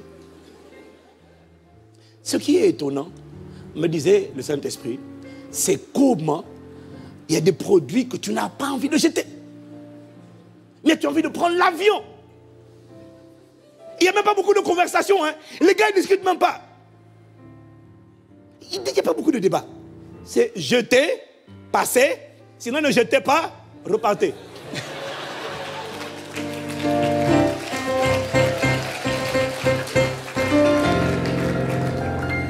Ce qui est étonnant, c'est comment nous tous, sans exception, on obéit. Pourquoi? Parce que je n'ai pas envie de rater l'avion, je dois y aller quand même. Donc, tu es en train de montrer que tu, tu sais et tu peux faire quelque chose, même quand ton âme n'a pas envie. Tu es capable d'un parfum. Au revoir. Tu sais faire, tu sais et tu peux renoncer aux choses auxquelles tu t'es attaché. Tu sais et tu peux, tu sais, tu peux. Dis avec moi, waouh! Tu sais et tu peux le faire. Tu sais le faire, tu peux le faire, tu en as la capacité. Tu sous-estimes ton âme. Tu sous-estimes de quoi tu es capable. Tu peux faire ce qu'on t'ordonne de faire. Quelqu'un me dit Amen encore. Mais devant l'agent de sécurité invisible, appelez la parole de Dieu. Quand il dit cette pensée-là, ne rentre pas dans ton cœur. L'impudicité ne rentre pas, la jalousie ne rentre pas, l'amertume ne rentre pas. Maintenant, la plupart des gens, c'est ce qu'ils disent? Non, mais en fait, c'est dur. J'essaye, je me bats. J'ai du mal. Pasteur, il faut prier pour moi. Il faut prier pour moi. Il faut prier pour moi. La plupart des gens, c'est l'agent de sécurité, le garde là. D'ailleurs, ce qui est marrant, c'est que quelle que soit sa face, sa race, sa taille, dès lors qu'il a la tenue, tu sais te mettre au garde à vous. Et obéir. Mais devant la parole de Dieu, où normalement tu devrais être encore plus au garde à vous devant la parole qui a créé toutes choses, tu dis, non mais en fait, euh, j'ai l'esprit bien disposé, pasteur, mais en fait la chair est faible. En fait, mon âme là, en fait, euh, waouh, j'ai dit waouh. Alors, tu dis que ta chair est faible, que les démons t'oppressent et te poussent à désobéir. Mais il m'a dit, mais comment se fait-il que devant un agent de sécurité, surtout s'il est baraqué, même s'il n'est pas baraqué, dès lors qu'il a la tenue, tu as du respect pour la tenue. Tu as du respect pour l'uniforme. Comment se fait-il que devant un garde armé qui se tient en face de toi, devant même un agent de sécurité tout simplement, quand on te dit ces produits ne passent pas ici, il me dit là tu obéis, Et quand tu obéis, si on te dit, tel produit est interdit dans l'avion, la plupart du temps, tu obéis. Alcool, si on te dit l'alcool interdit, tu obéis. Est-ce que quelqu'un me suit? Les plus grands fumeurs, ils n'arrivent pas à ne pas fumer pendant 10 minutes. Ils doivent fumer toutes les demi-heures. Et quand tu lui demandes pourquoi tu fumes, c'est pas évident, j'arrive pas. Comment tu expliques que le même gars, quand dans l'avion, tu as un gros baraquet qui dit fumer est interdit dans l'appareil, coucher avec son conjoint est interdit dans les cabines de l'appareil. Donc tous les impudiques qui disent je ne peux pas me retenir, je peux pas me retenir. Quand tu vas en Australie, c'est 24 heures de vol. Celui qui ne peut pas se retenir là, et le gars qui fume, et le gars qui ne peut pas se retenir pour se permettre de coucher, comme par hasard, dans l'avion, il arrive à faire, quand tu vas aux Antilles, c'est 8h30 de vol sans cigarette. Quand on te dit téléphone portable interdit, et que tu penses que tu es accro au WhatsApp, SMS, non, j'ai besoin, même quand il y a le dans l'avion, j'ai besoin là, c'est plus, non, on te dit arrête. Non, mais en fait, euh, j'ai du mal, en fait, vraiment, je reconnais que je ne dois pas le faire, mais bon, tu comprends, c'est dur pour moi. Mais quand on te dit téléphone interdit, on est capable de te dire téléphone interdit. Dès lors qu'il y a quelqu'un là qui se tient devant toi, un grand malabar, même si avec l'uniforme qui te dit, si on t'attrape, c'est amende sévère plus newf emprisonnement. Il se tient seulement devant. Comment tu expliques que tu as envie de fumer, tu as envie de copuler, tu as envie de téléphoner? Dès qu'on te dit on n'a pas le droit, explique-moi comment tu arrives soudainement à obéir pendant plusieurs heures. Alors que quand tu as quitté l'avion, tu dis, je ne peux pas faire 30 minutes sans fumer, mais tu as fait 24 heures sans fumer pour aller en Australie. Waouh! Waouh!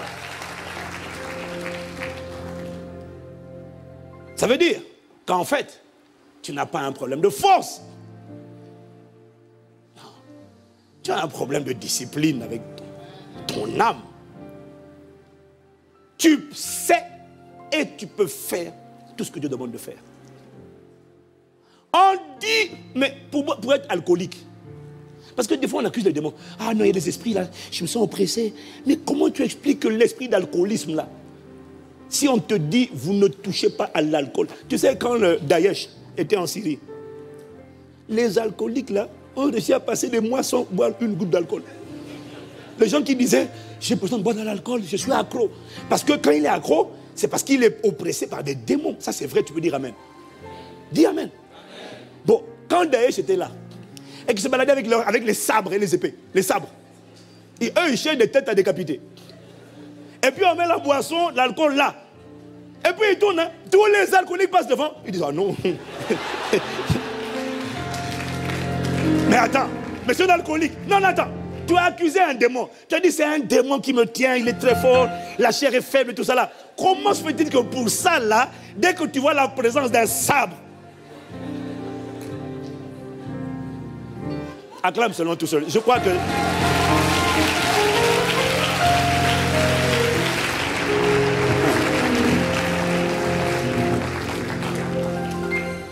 Donc, quand un être humain en uniforme, idéalement avec une arme, te dit, ça, ça ne passe pas. Tu dis, mon âme a des tendances, a des pulsions, mais t'inquiète pas, ça va aller, je vais la gérer. mon âme va se calmer. Maintenant, quand la parole invisible de Dieu, ou quand l'ange du Seigneur, parce que le Saint-Esprit te parle souvent par ton ange. Le Saint-Esprit a beaucoup parlé à Paul à travers l'ange qui était assigné à sa protection. Ton ange peut te parler. En fait, des fois, tu entends des voix. C'est le Saint-Esprit qui te parle, mais c'est ton ange qui est en train de te donner les directives. Il te dit cette amertume-là, cette impudicité-là, cette offense-là, ce rejet-là, tu ne dois pas le garder. Mais comment tu expliques que quand c'est un homme qui te dit ça, as ton alcool là, ou même tu as dit non, c'est la colère. Bon.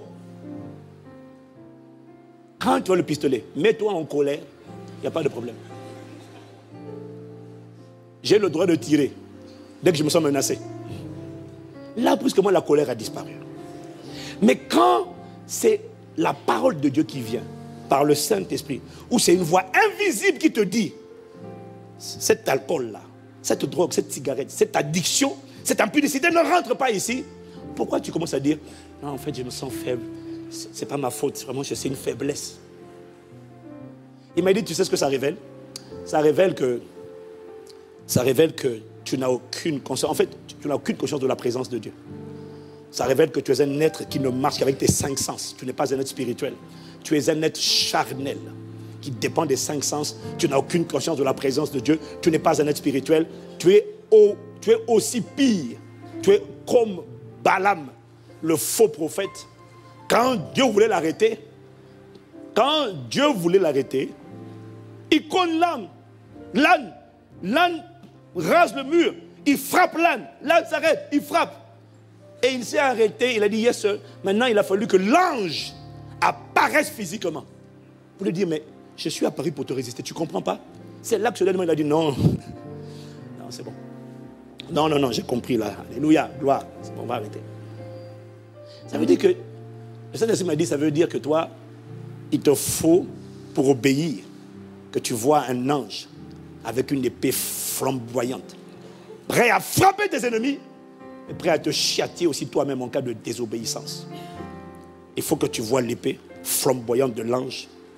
Là, l'épée va commencer à te dire, quand tu vas voir l'ange avec l'épée, tu vas dire, non, mais c'est bon. alors l'impudicité? Non. Quand tu vas venir au soin pastoral, on fait le check-up. Hein, on dit alors c'est comment euh, Tu avais des tendances un peu truc là. Oh, pasteur, non. Parce que dès que tu ouvres les yeux, tu vois un ange avec une épée. En fait, c'est ça qu'il te faut. Mais si c'est ça qu'il te faut, ça veut dire que toi, tu marches par la vue. Tu ne marches pas par la foi. Alors Dieu a dit, mon juste vivra par la foi. S'il se retire, mon âme ne prend pas plaisir. Car sans la foi, il est impossible de l'être agréable. Dieu n'a pas l'intention pour t'amener à obéir, de, de faire apparaître un ange à tes côtés en permanence, pour que tu le vois, que tu sois persuadé que tu as intérêt à obéir. Dieu ne le fera pas. Parce que Dieu a dit que mon juste doit marcher, doit vivre par la foi. En fait, ce que j'essaie de te dire, c'est que tu peux faire la guerre à n'importe quelle mauvaise émotion, sentiment que tu as à l'intérieur de toi. Et quand tu vas te livrer à cette guerre, renverser les raisonnements. Je renverse ces raisonnements de, jalousie. Je renverse ces raisonnements de tristesse. Qu'est-ce que tu fais en moi? Je renverse ces raisonnements de haine. Je renverse ces raisonnements de suicide. Je renverse ces pensées de dépression. Tu n'as rien à faire en moi. Dieu n'est pas dépressif. Quand tu vas faire cette guerre, tu vas voir que Dieu sera avec toi. La capacité de Dieu va t'accompagner et tu vas triompher.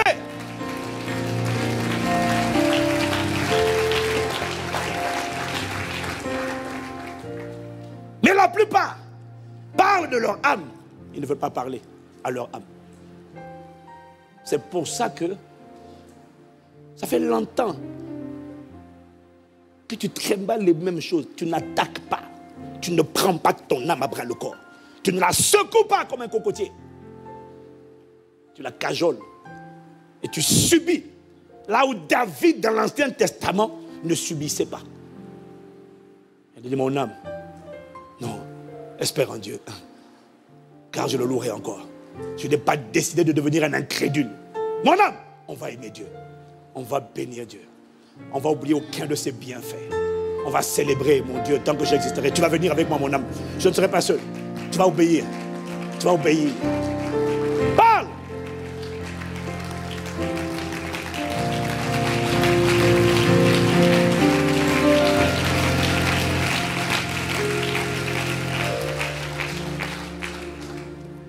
Parce que lorsque tu ne décides pas de faire la guerre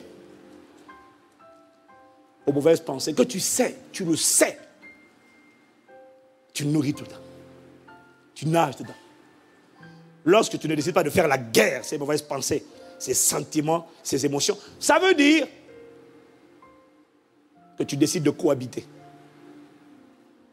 Ça veut dire que tu décides d'être un complice et un allié du destructeur de ton âme du bloqueur de ta vie. C'est toi qui décides. Une âme faible une âme brisée n'est pas obligée de, désobéir. Si, si tu décides de monter la garde, je ne me laisserai pas faire. Mon âme était peut-être broke, mais tu ne resteras pas broke. Arrête de regarder le monde autour de toi et en train de leur dire pourquoi tu m'as dit ça, pourquoi tu m'as fait ça? Non, tu vas pas passer ton temps à, traverser les rues dès que quelqu'un te cogne. Pourquoi tu m'as cogné? Pourquoi tu m'as parlé comme ça? Tais-toi un peu et parle à ton âme. Pourquoi tu sens être vexé? Pourquoi tu, es toujours vexé? Pourquoi tu es toujours blessé? Ouais, mais c'est parce que je me sens rejeté. Et tu rejettes, tu fais quoi ici? Dégage de là renverse les forteresses, tu dis au nom de Jésus, je rejette le, le rejet, je rejette le rejet. Je ne t'appartiens pas.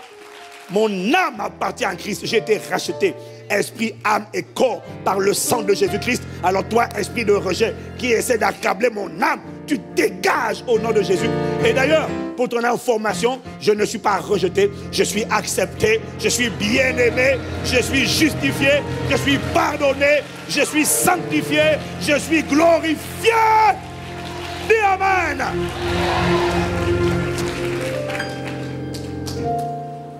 Tu peux faire cette guerre.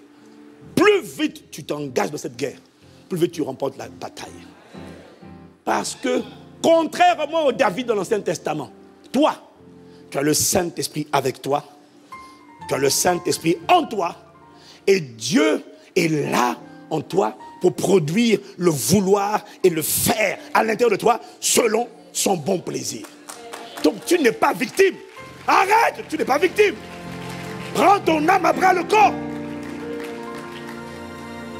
Parle à la montagne. Parle à cette âme. Parle à l'esprit qui essaie d'oppresser l'âme. Ne de parler à tout le monde. Tu m'as blessé, tu m'as foncé, tu m'as blessé, tu m'as offensé. Mais la terre entière va t'offenser, toi. C'est quoi ton problème? Décide de parler à ton âme. Tu dis non. C'est un esprit de mélancolie. C'est un esprit de rejet. C'est un esprit d'apitoiement. Commande à cet esprit. Tu lui dis, je t'arrache mon cœur. Il n'est pas à toi tu commandes l'esprit d'impudicité? Il n'y a pas un démon qui est trop fort, c'est faux. C'est parce que la plupart ne veulent pas parler à pour faire parler de. Cette parole, elle ne peut pas échouer. Arrête, la Bible n'a pas changé. Dieu n'a pas changé. Il y a trop de témoins ici dans la BIBLE qui ont été cognés, blessés et fracassés et qui ont triomphé quand même par l'amour de Dieu. Ce soit ton partage au nom de Jésus.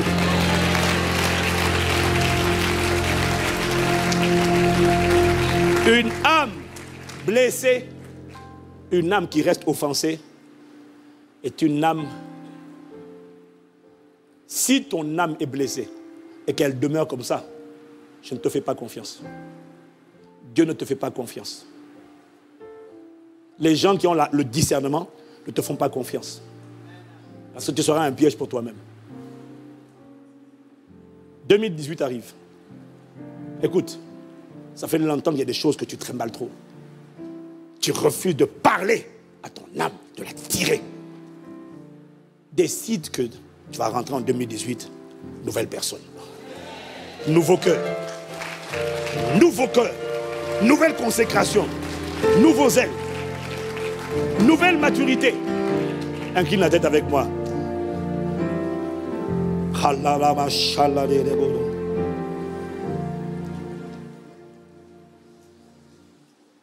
Ouvre les yeux.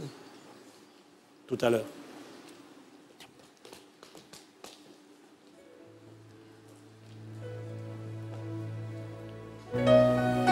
Shamarierebrosa.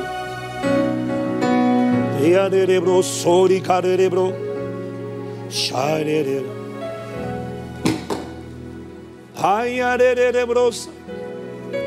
Tu n'as pas besoin qu'un ange soit physiquement avec toi tous les jours, visible à tes yeux.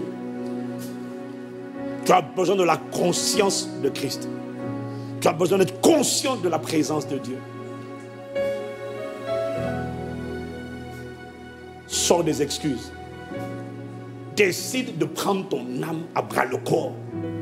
Sors des lamentations, des apitoiements décide d'œuvrer activement à la restauration, à la guérison de ton âme. c'est d'elle que viennent les sources de la vie. Bien-aimé, je souhaite que tu souhaites que tu prospères à tous égards, sois en bonne santé, ainsi que prospère l'état de ton âme. Prends-la. Le Saint-Esprit est avec toi. La capacité divine est là. La force est là. Mais veille, monte la garde. Ça veut dire, décide de scanner. Et tous les intrus, les pensées intrus, les émotions intrus, les sentiments qui ne sont pas de Christ, dégage-les, dis-leur, dehors. Ce n'est plus moi qui vis, c'est Christ qui vit en moi. Vous êtes illégitime. J'accepte les sentiments de Christ.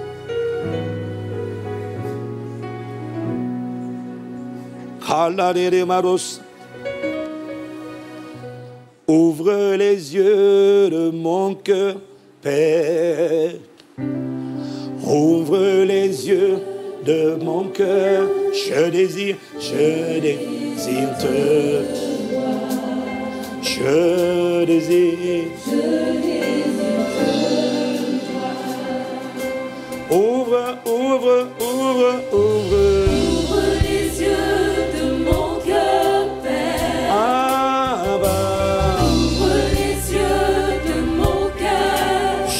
désire. Je désire te voir. Pardonne ma cohabitation. Je désire te voir. Pardonne là où j'étais complice au Père. Ouvre les yeux de mon cœur, Père. À partir d'aujourd'hui, Ouvre les yeux de mon cœur. ne me laisse plus accepter de croire que je suis trop faible.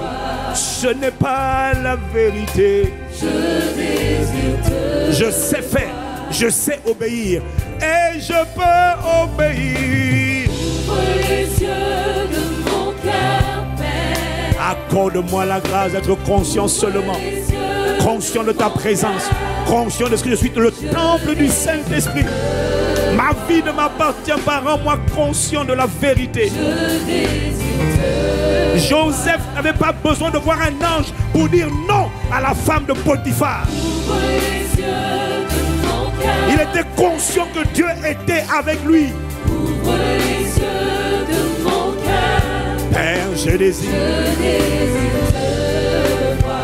Père, je désire. Je. Pardonne mes excuses, pardonne nos excuses, pardonne notre comédie, pardonne nos hypocrisies. Pardonne parce que nous n'avons pas voulu prendre notre âme, parler à notre âme. Nous aimons parler de notre âme, mais nous n'aimons pas parler à notre âme. Nous allons voir les psychologues et les psychiatres pour parler de notre âme. David parlait à son âme, pas de son âme. Eh mon âme, qu'est-ce que tu fais avec l'amertume? Qu'est-ce que tu fais là, Roger Tu n'as pas le droit d'être là. Tu n'as pas le droit. Je ne t'autorise pas. Christ seul doit être pleinement formé. Ouvre, ouvre, ouvre, ouvre. Ouvre les yeux de mon cœur, Père. Ouvre les yeux. Ouvre les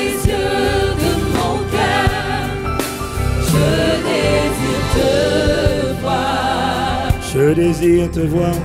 Je désire te voir. Je désire. Je désire te voir. Je désire. Je désire te voir. Je désire. Je désire. Je désire te voir. Élevons la voix, prions les uns pour les autres, prions pour nous-mêmes, prions pour l'Église, prions pour les frères, prions pour les sœurs. Il y a quelque chose qui doit changer radicalement dans ma manière de parler, dans ma manière d'aborder mon âme. Il faut que je devienne un artisan de la restauration de mon âme. Il y en a assez de subir, il y en a assez de parler de ma dépression, de parler de mon découragement, de parler de mon amertume, de parler de cette impudicité. Il y en a assez.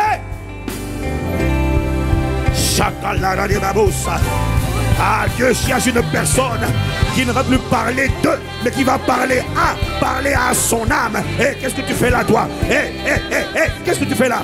Eh, jalousie, colère, querelle, rivalité, calomnie. Tu fais quoi ici? Dégage de là. Ce n'est plus moi qui vis, c'est Christ qui vit en moi. Si c'est moi qui vivais, tu avais le droit de rester. Mais je ne vis plus. Christ vit. Christ est saint. Alors, tu seras saint comme il est saint. Arrête d'écouter la voix de l'esprit d'impudicité qui te dit que je ne peux pas. Tu ne peux pas vivre sans moi. Tu peux vivre sans l'impudicité. Tu peux vivre sans l'impudicité. Tu peux vivre sans l'impudicité. Arrête de te tromper. Tu peux. Tu peux vivre sans l'alcool. Tu peux. C'est une question de détermination. C'est une question de décision. Fais la guerre ces mauvaises pensées, à ces mauvaises émotions, à ces mauvais sentiments qui ne sont pas de Dieu, mais que tu as trop longtemps toléré, tu as trop longtemps excusé. Mais devant l'agent de sécurité, tu n'arrives pas à excuser parce qu'il n'écoute pas tes excuses. Alors là, tu obéis, mais tu penses que Dieu écoute tes excuses.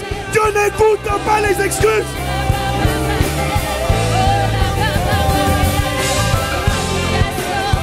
Dieu n'entend pas les excuses.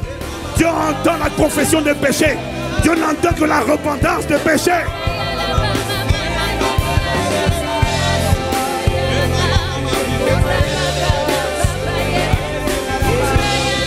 Il faut que ça s'arrête en 2017. Il faut que ça s'arrête en 2017. On va pas aller en 2018 avec les mêmes lourdeurs, les mêmes boulets, les mêmes fardeaux. Il faut que ça s'arrête. Il faut que ça cesse. Et la fin du combat dépend de toi. La fin du combat ne dépend pas de Dieu. Dieu a déjà tout fini. Jésus a tout accompli. Il a dépouillé les autorités, les dominations. Il les a publiquement livrés en spectacle en triomphant d'elle par la croix. Il a tout fini.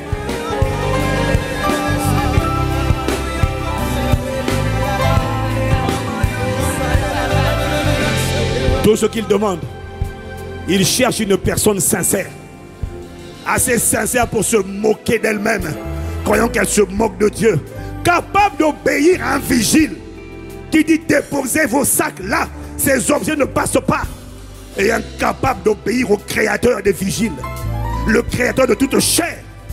Tu es capable d'obéir à un homme, et tu n'es pas capable d'obéir à Dieu, alors que c'est Dieu qui a créé cet homme. Quel message envoies-tu au créateur? Arrête la comédie. Arrête des excuses. Décide, comme David, de ne plus tolérer dans ton âme une seule offense. Une seule œuvre de la chair. Décide. Et Dieu te fera grâce. À celui qui est ferme dans ses résolutions.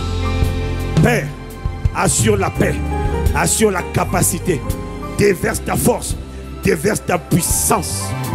Rends-le capable, rends-la capable de triompher. Alors, alors, ce qui semblait une montagne émotionnelle que tu transportais depuis des années ne sera qu'une bouchée de pain, poussière, va disparaître de ta vie. Si ton cœur est sincère, avant la fin de ces 21 jours, tous les blocs, les amas d'offenses et de, de la chair que tu ne combattais pas, Dieu n'est pas faible. Ce n'est pas toi qui vis, c'est Christ qui vit en toi. Celui qui est en vous est plus fort, il est plus grand que celui qui est dans le monde. Si tu ne vois pas sa grandeur et sa victoire, c'est parce qu'il ne peut pas te forcer à obéir. Il peut déverser sa grâce sur ceux qui ont décidé sera glorifié. Mais sur les cohabitateurs et les complices et les alliés de la chair et de leur propre autodestruction, Dieu ne peut rien faire. Parce que quand tu cautionnes, tu tolères au lieu de combattre, tu fais un choix que Dieu est obligé de respecter. Parce qu'il ne viole pas ta volonté. Le péché n'a jamais été trop fort. C'est un mensonge de l'enfer. La capacité de Dieu est plus grande. Mais elle a besoin d'un cœur sincère et pas d'un cœur qui donne des excuses. Sois libéré de ces excuses au nom de Jésus. Amen.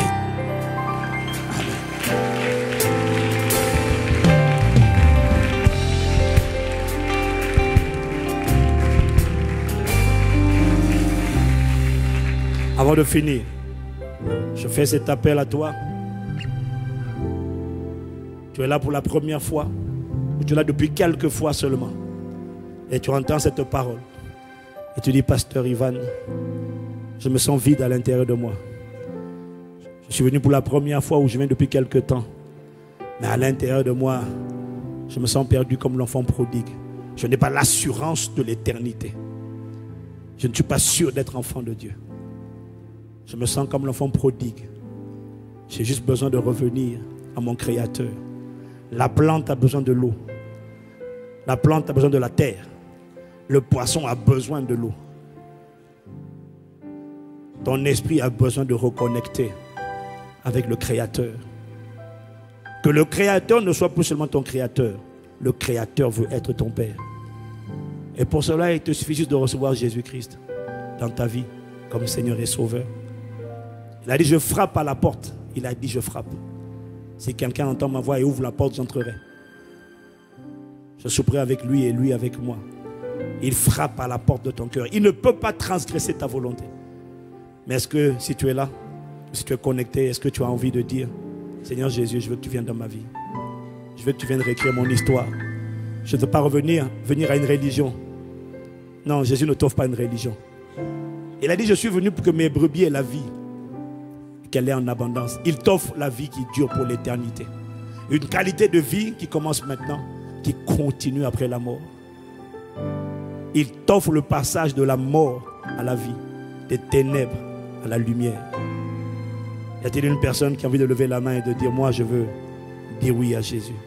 Je veux revenir à la maison. Je me sens fatigué. Et ça tombe bien parce qu'il a dit, venez à moi, vous qui êtes fatigués et chargés. Je vous donnerai du repos. Il veut donner le repos à ton âme, le repos à ton cœur. Si tu entends cette parole, ne durcis pas ton cœur. Prends ton sac. Si tu es venu toute seule, prends ton sac. Si tu as des amis, tu peux leur laisser tes affaires. Tu les retrouveras tout à l'heure. Mais viens devant vite, je vais prier pour toi, quelle que soit la, quelle que soit la salle dans laquelle tu es. Ou si tu es sur Internet, il te suffit juste de cliquer sur ce bouton, répondre à l'appel, au salut. Viens devant, nous allons prier pour toi rapidement. L'heure est déjà avancée, expirée. Mais je dois prendre le temps de faire cet appel. Si tu entends sa voix t'appeler, et une voix est en train de te dire, c'est de toi qu'on parle. C'est toi qui dois venir devant. Aujourd'hui est le jour favorable. Aujourd'hui est le jour du salut. Aujourd'hui est le jour de ta réconciliation avec Dieu. Tu dois venir plus vite que ça. Ne regarde ni à gauche, ne regarde ni à gauche, ni à droite. Ne fais pas attention à tes voisins, à tes invités, à tes amis. C'est un moment personnel. Tu ne sais pas de quoi demain sera fait. Tu as besoin de revenir à lui et de recevoir la vie pour l'éternité. Tu ne sais pas ce qui va se passer en sortant d'ici. Pendant que tu entends cette voix qui te dit, reviens à la maison. Il veut te sauver. Il veut te donner une nouvelle vie. Il veut te mettre à part. Il veut te conduire avec lui dans l'éternité. Et toi qui es dans l'assemblée, tu devrais acclamer mieux que ça pour nos bien-aimés qui se lèvent.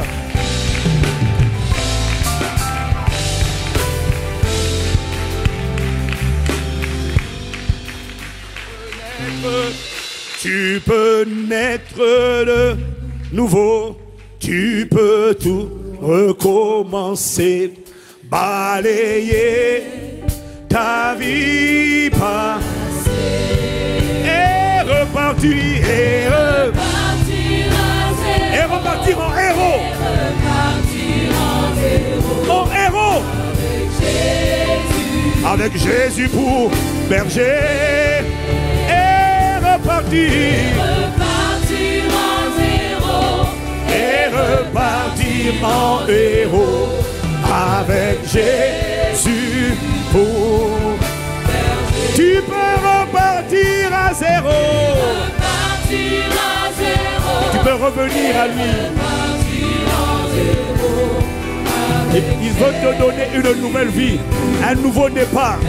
Il n'est pas trop tard pour repartir avec Dieu. Effacer tes péchés par son sang et te donner une vie nouvelle. Oh. Avec, avec, avec, avec Jésus.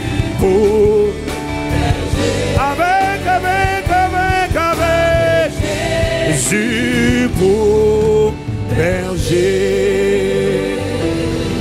We thank you, Lord. Il y a de la joie dans le ciel.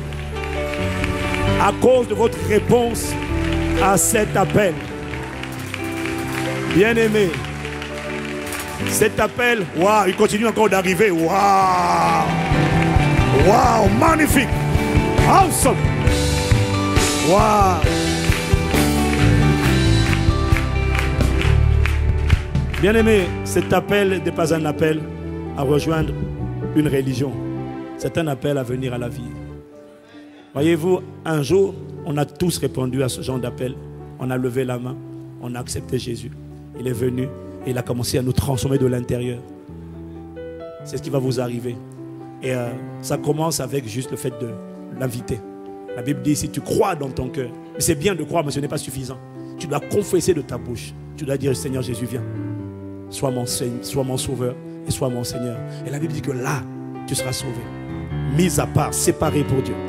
Tu ne, connaîtras pas la mort éternelle, destinée à la vie éternelle. Ça veut dire l'éternité avec Dieu. Sans cela, tu n'as aucune assurance. Je veux te donner l'assurance du salut. Ça ne se mérite pas. Il faut d'abord l'inviter. Je vais vous demander, l'Église va tendre la main vers vous.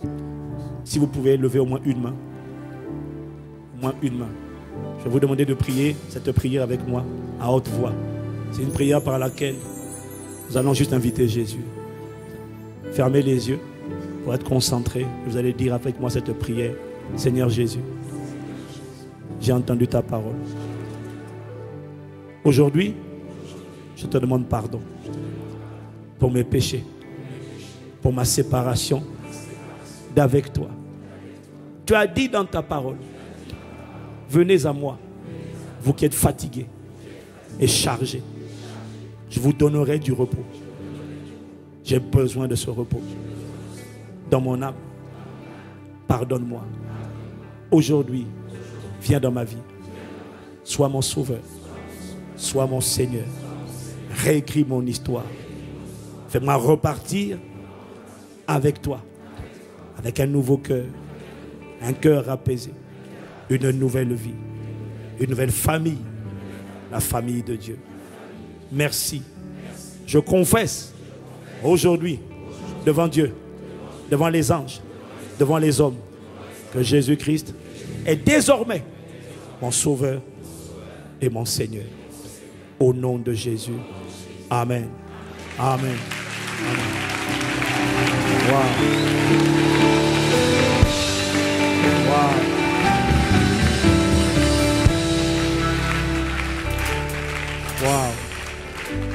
Il y a 62 personnes qui ont répondu sur Internet. Wow. Magnifique. Wow.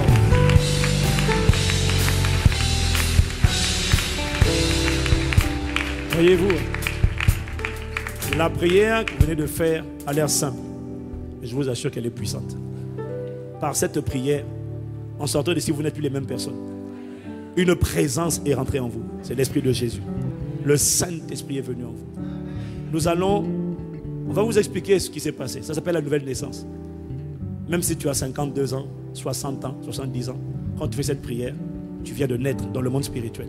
Pas sur la terre, mais dans le monde spirituel. Ça s'appelle la nouvelle naissance. Et, et quand un enfant vient de naître, on ne le laisse pas seul. On doit en prendre soin. C'est ce qu'on veut faire avec vous. Voilà pourquoi on va, on va prendre vos coordonnées. Je vais vous demander de suivre nos conseillers qui sont là. Il y a toute une équipe de conseillers qui va vous recevoir. Vous distribuer des cartes d'invitation. Et dès cette semaine, on est ensemble, on va vous contacter. Et euh, dès le mois de janvier prochain, je vous verrai tous avec tout le conseil pastoral. On vous verra tous ensemble.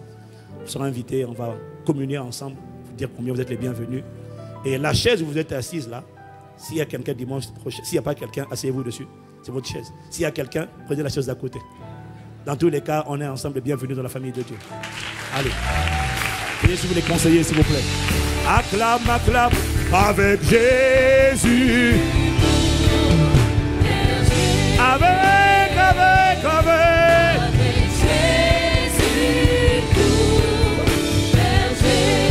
Avec, avec, avec. Wow.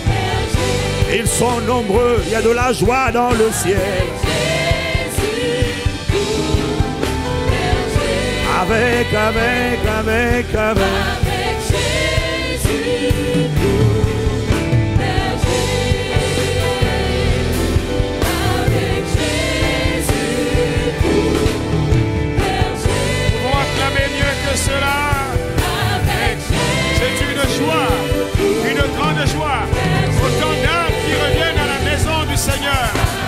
Acclamons, bénissons le nom de Jésus. Amen, amen, amen, amen. Amen Jésus, Nous t'acclamons, nous bénissons le nom de notre Seigneur. Dis gloire. Amen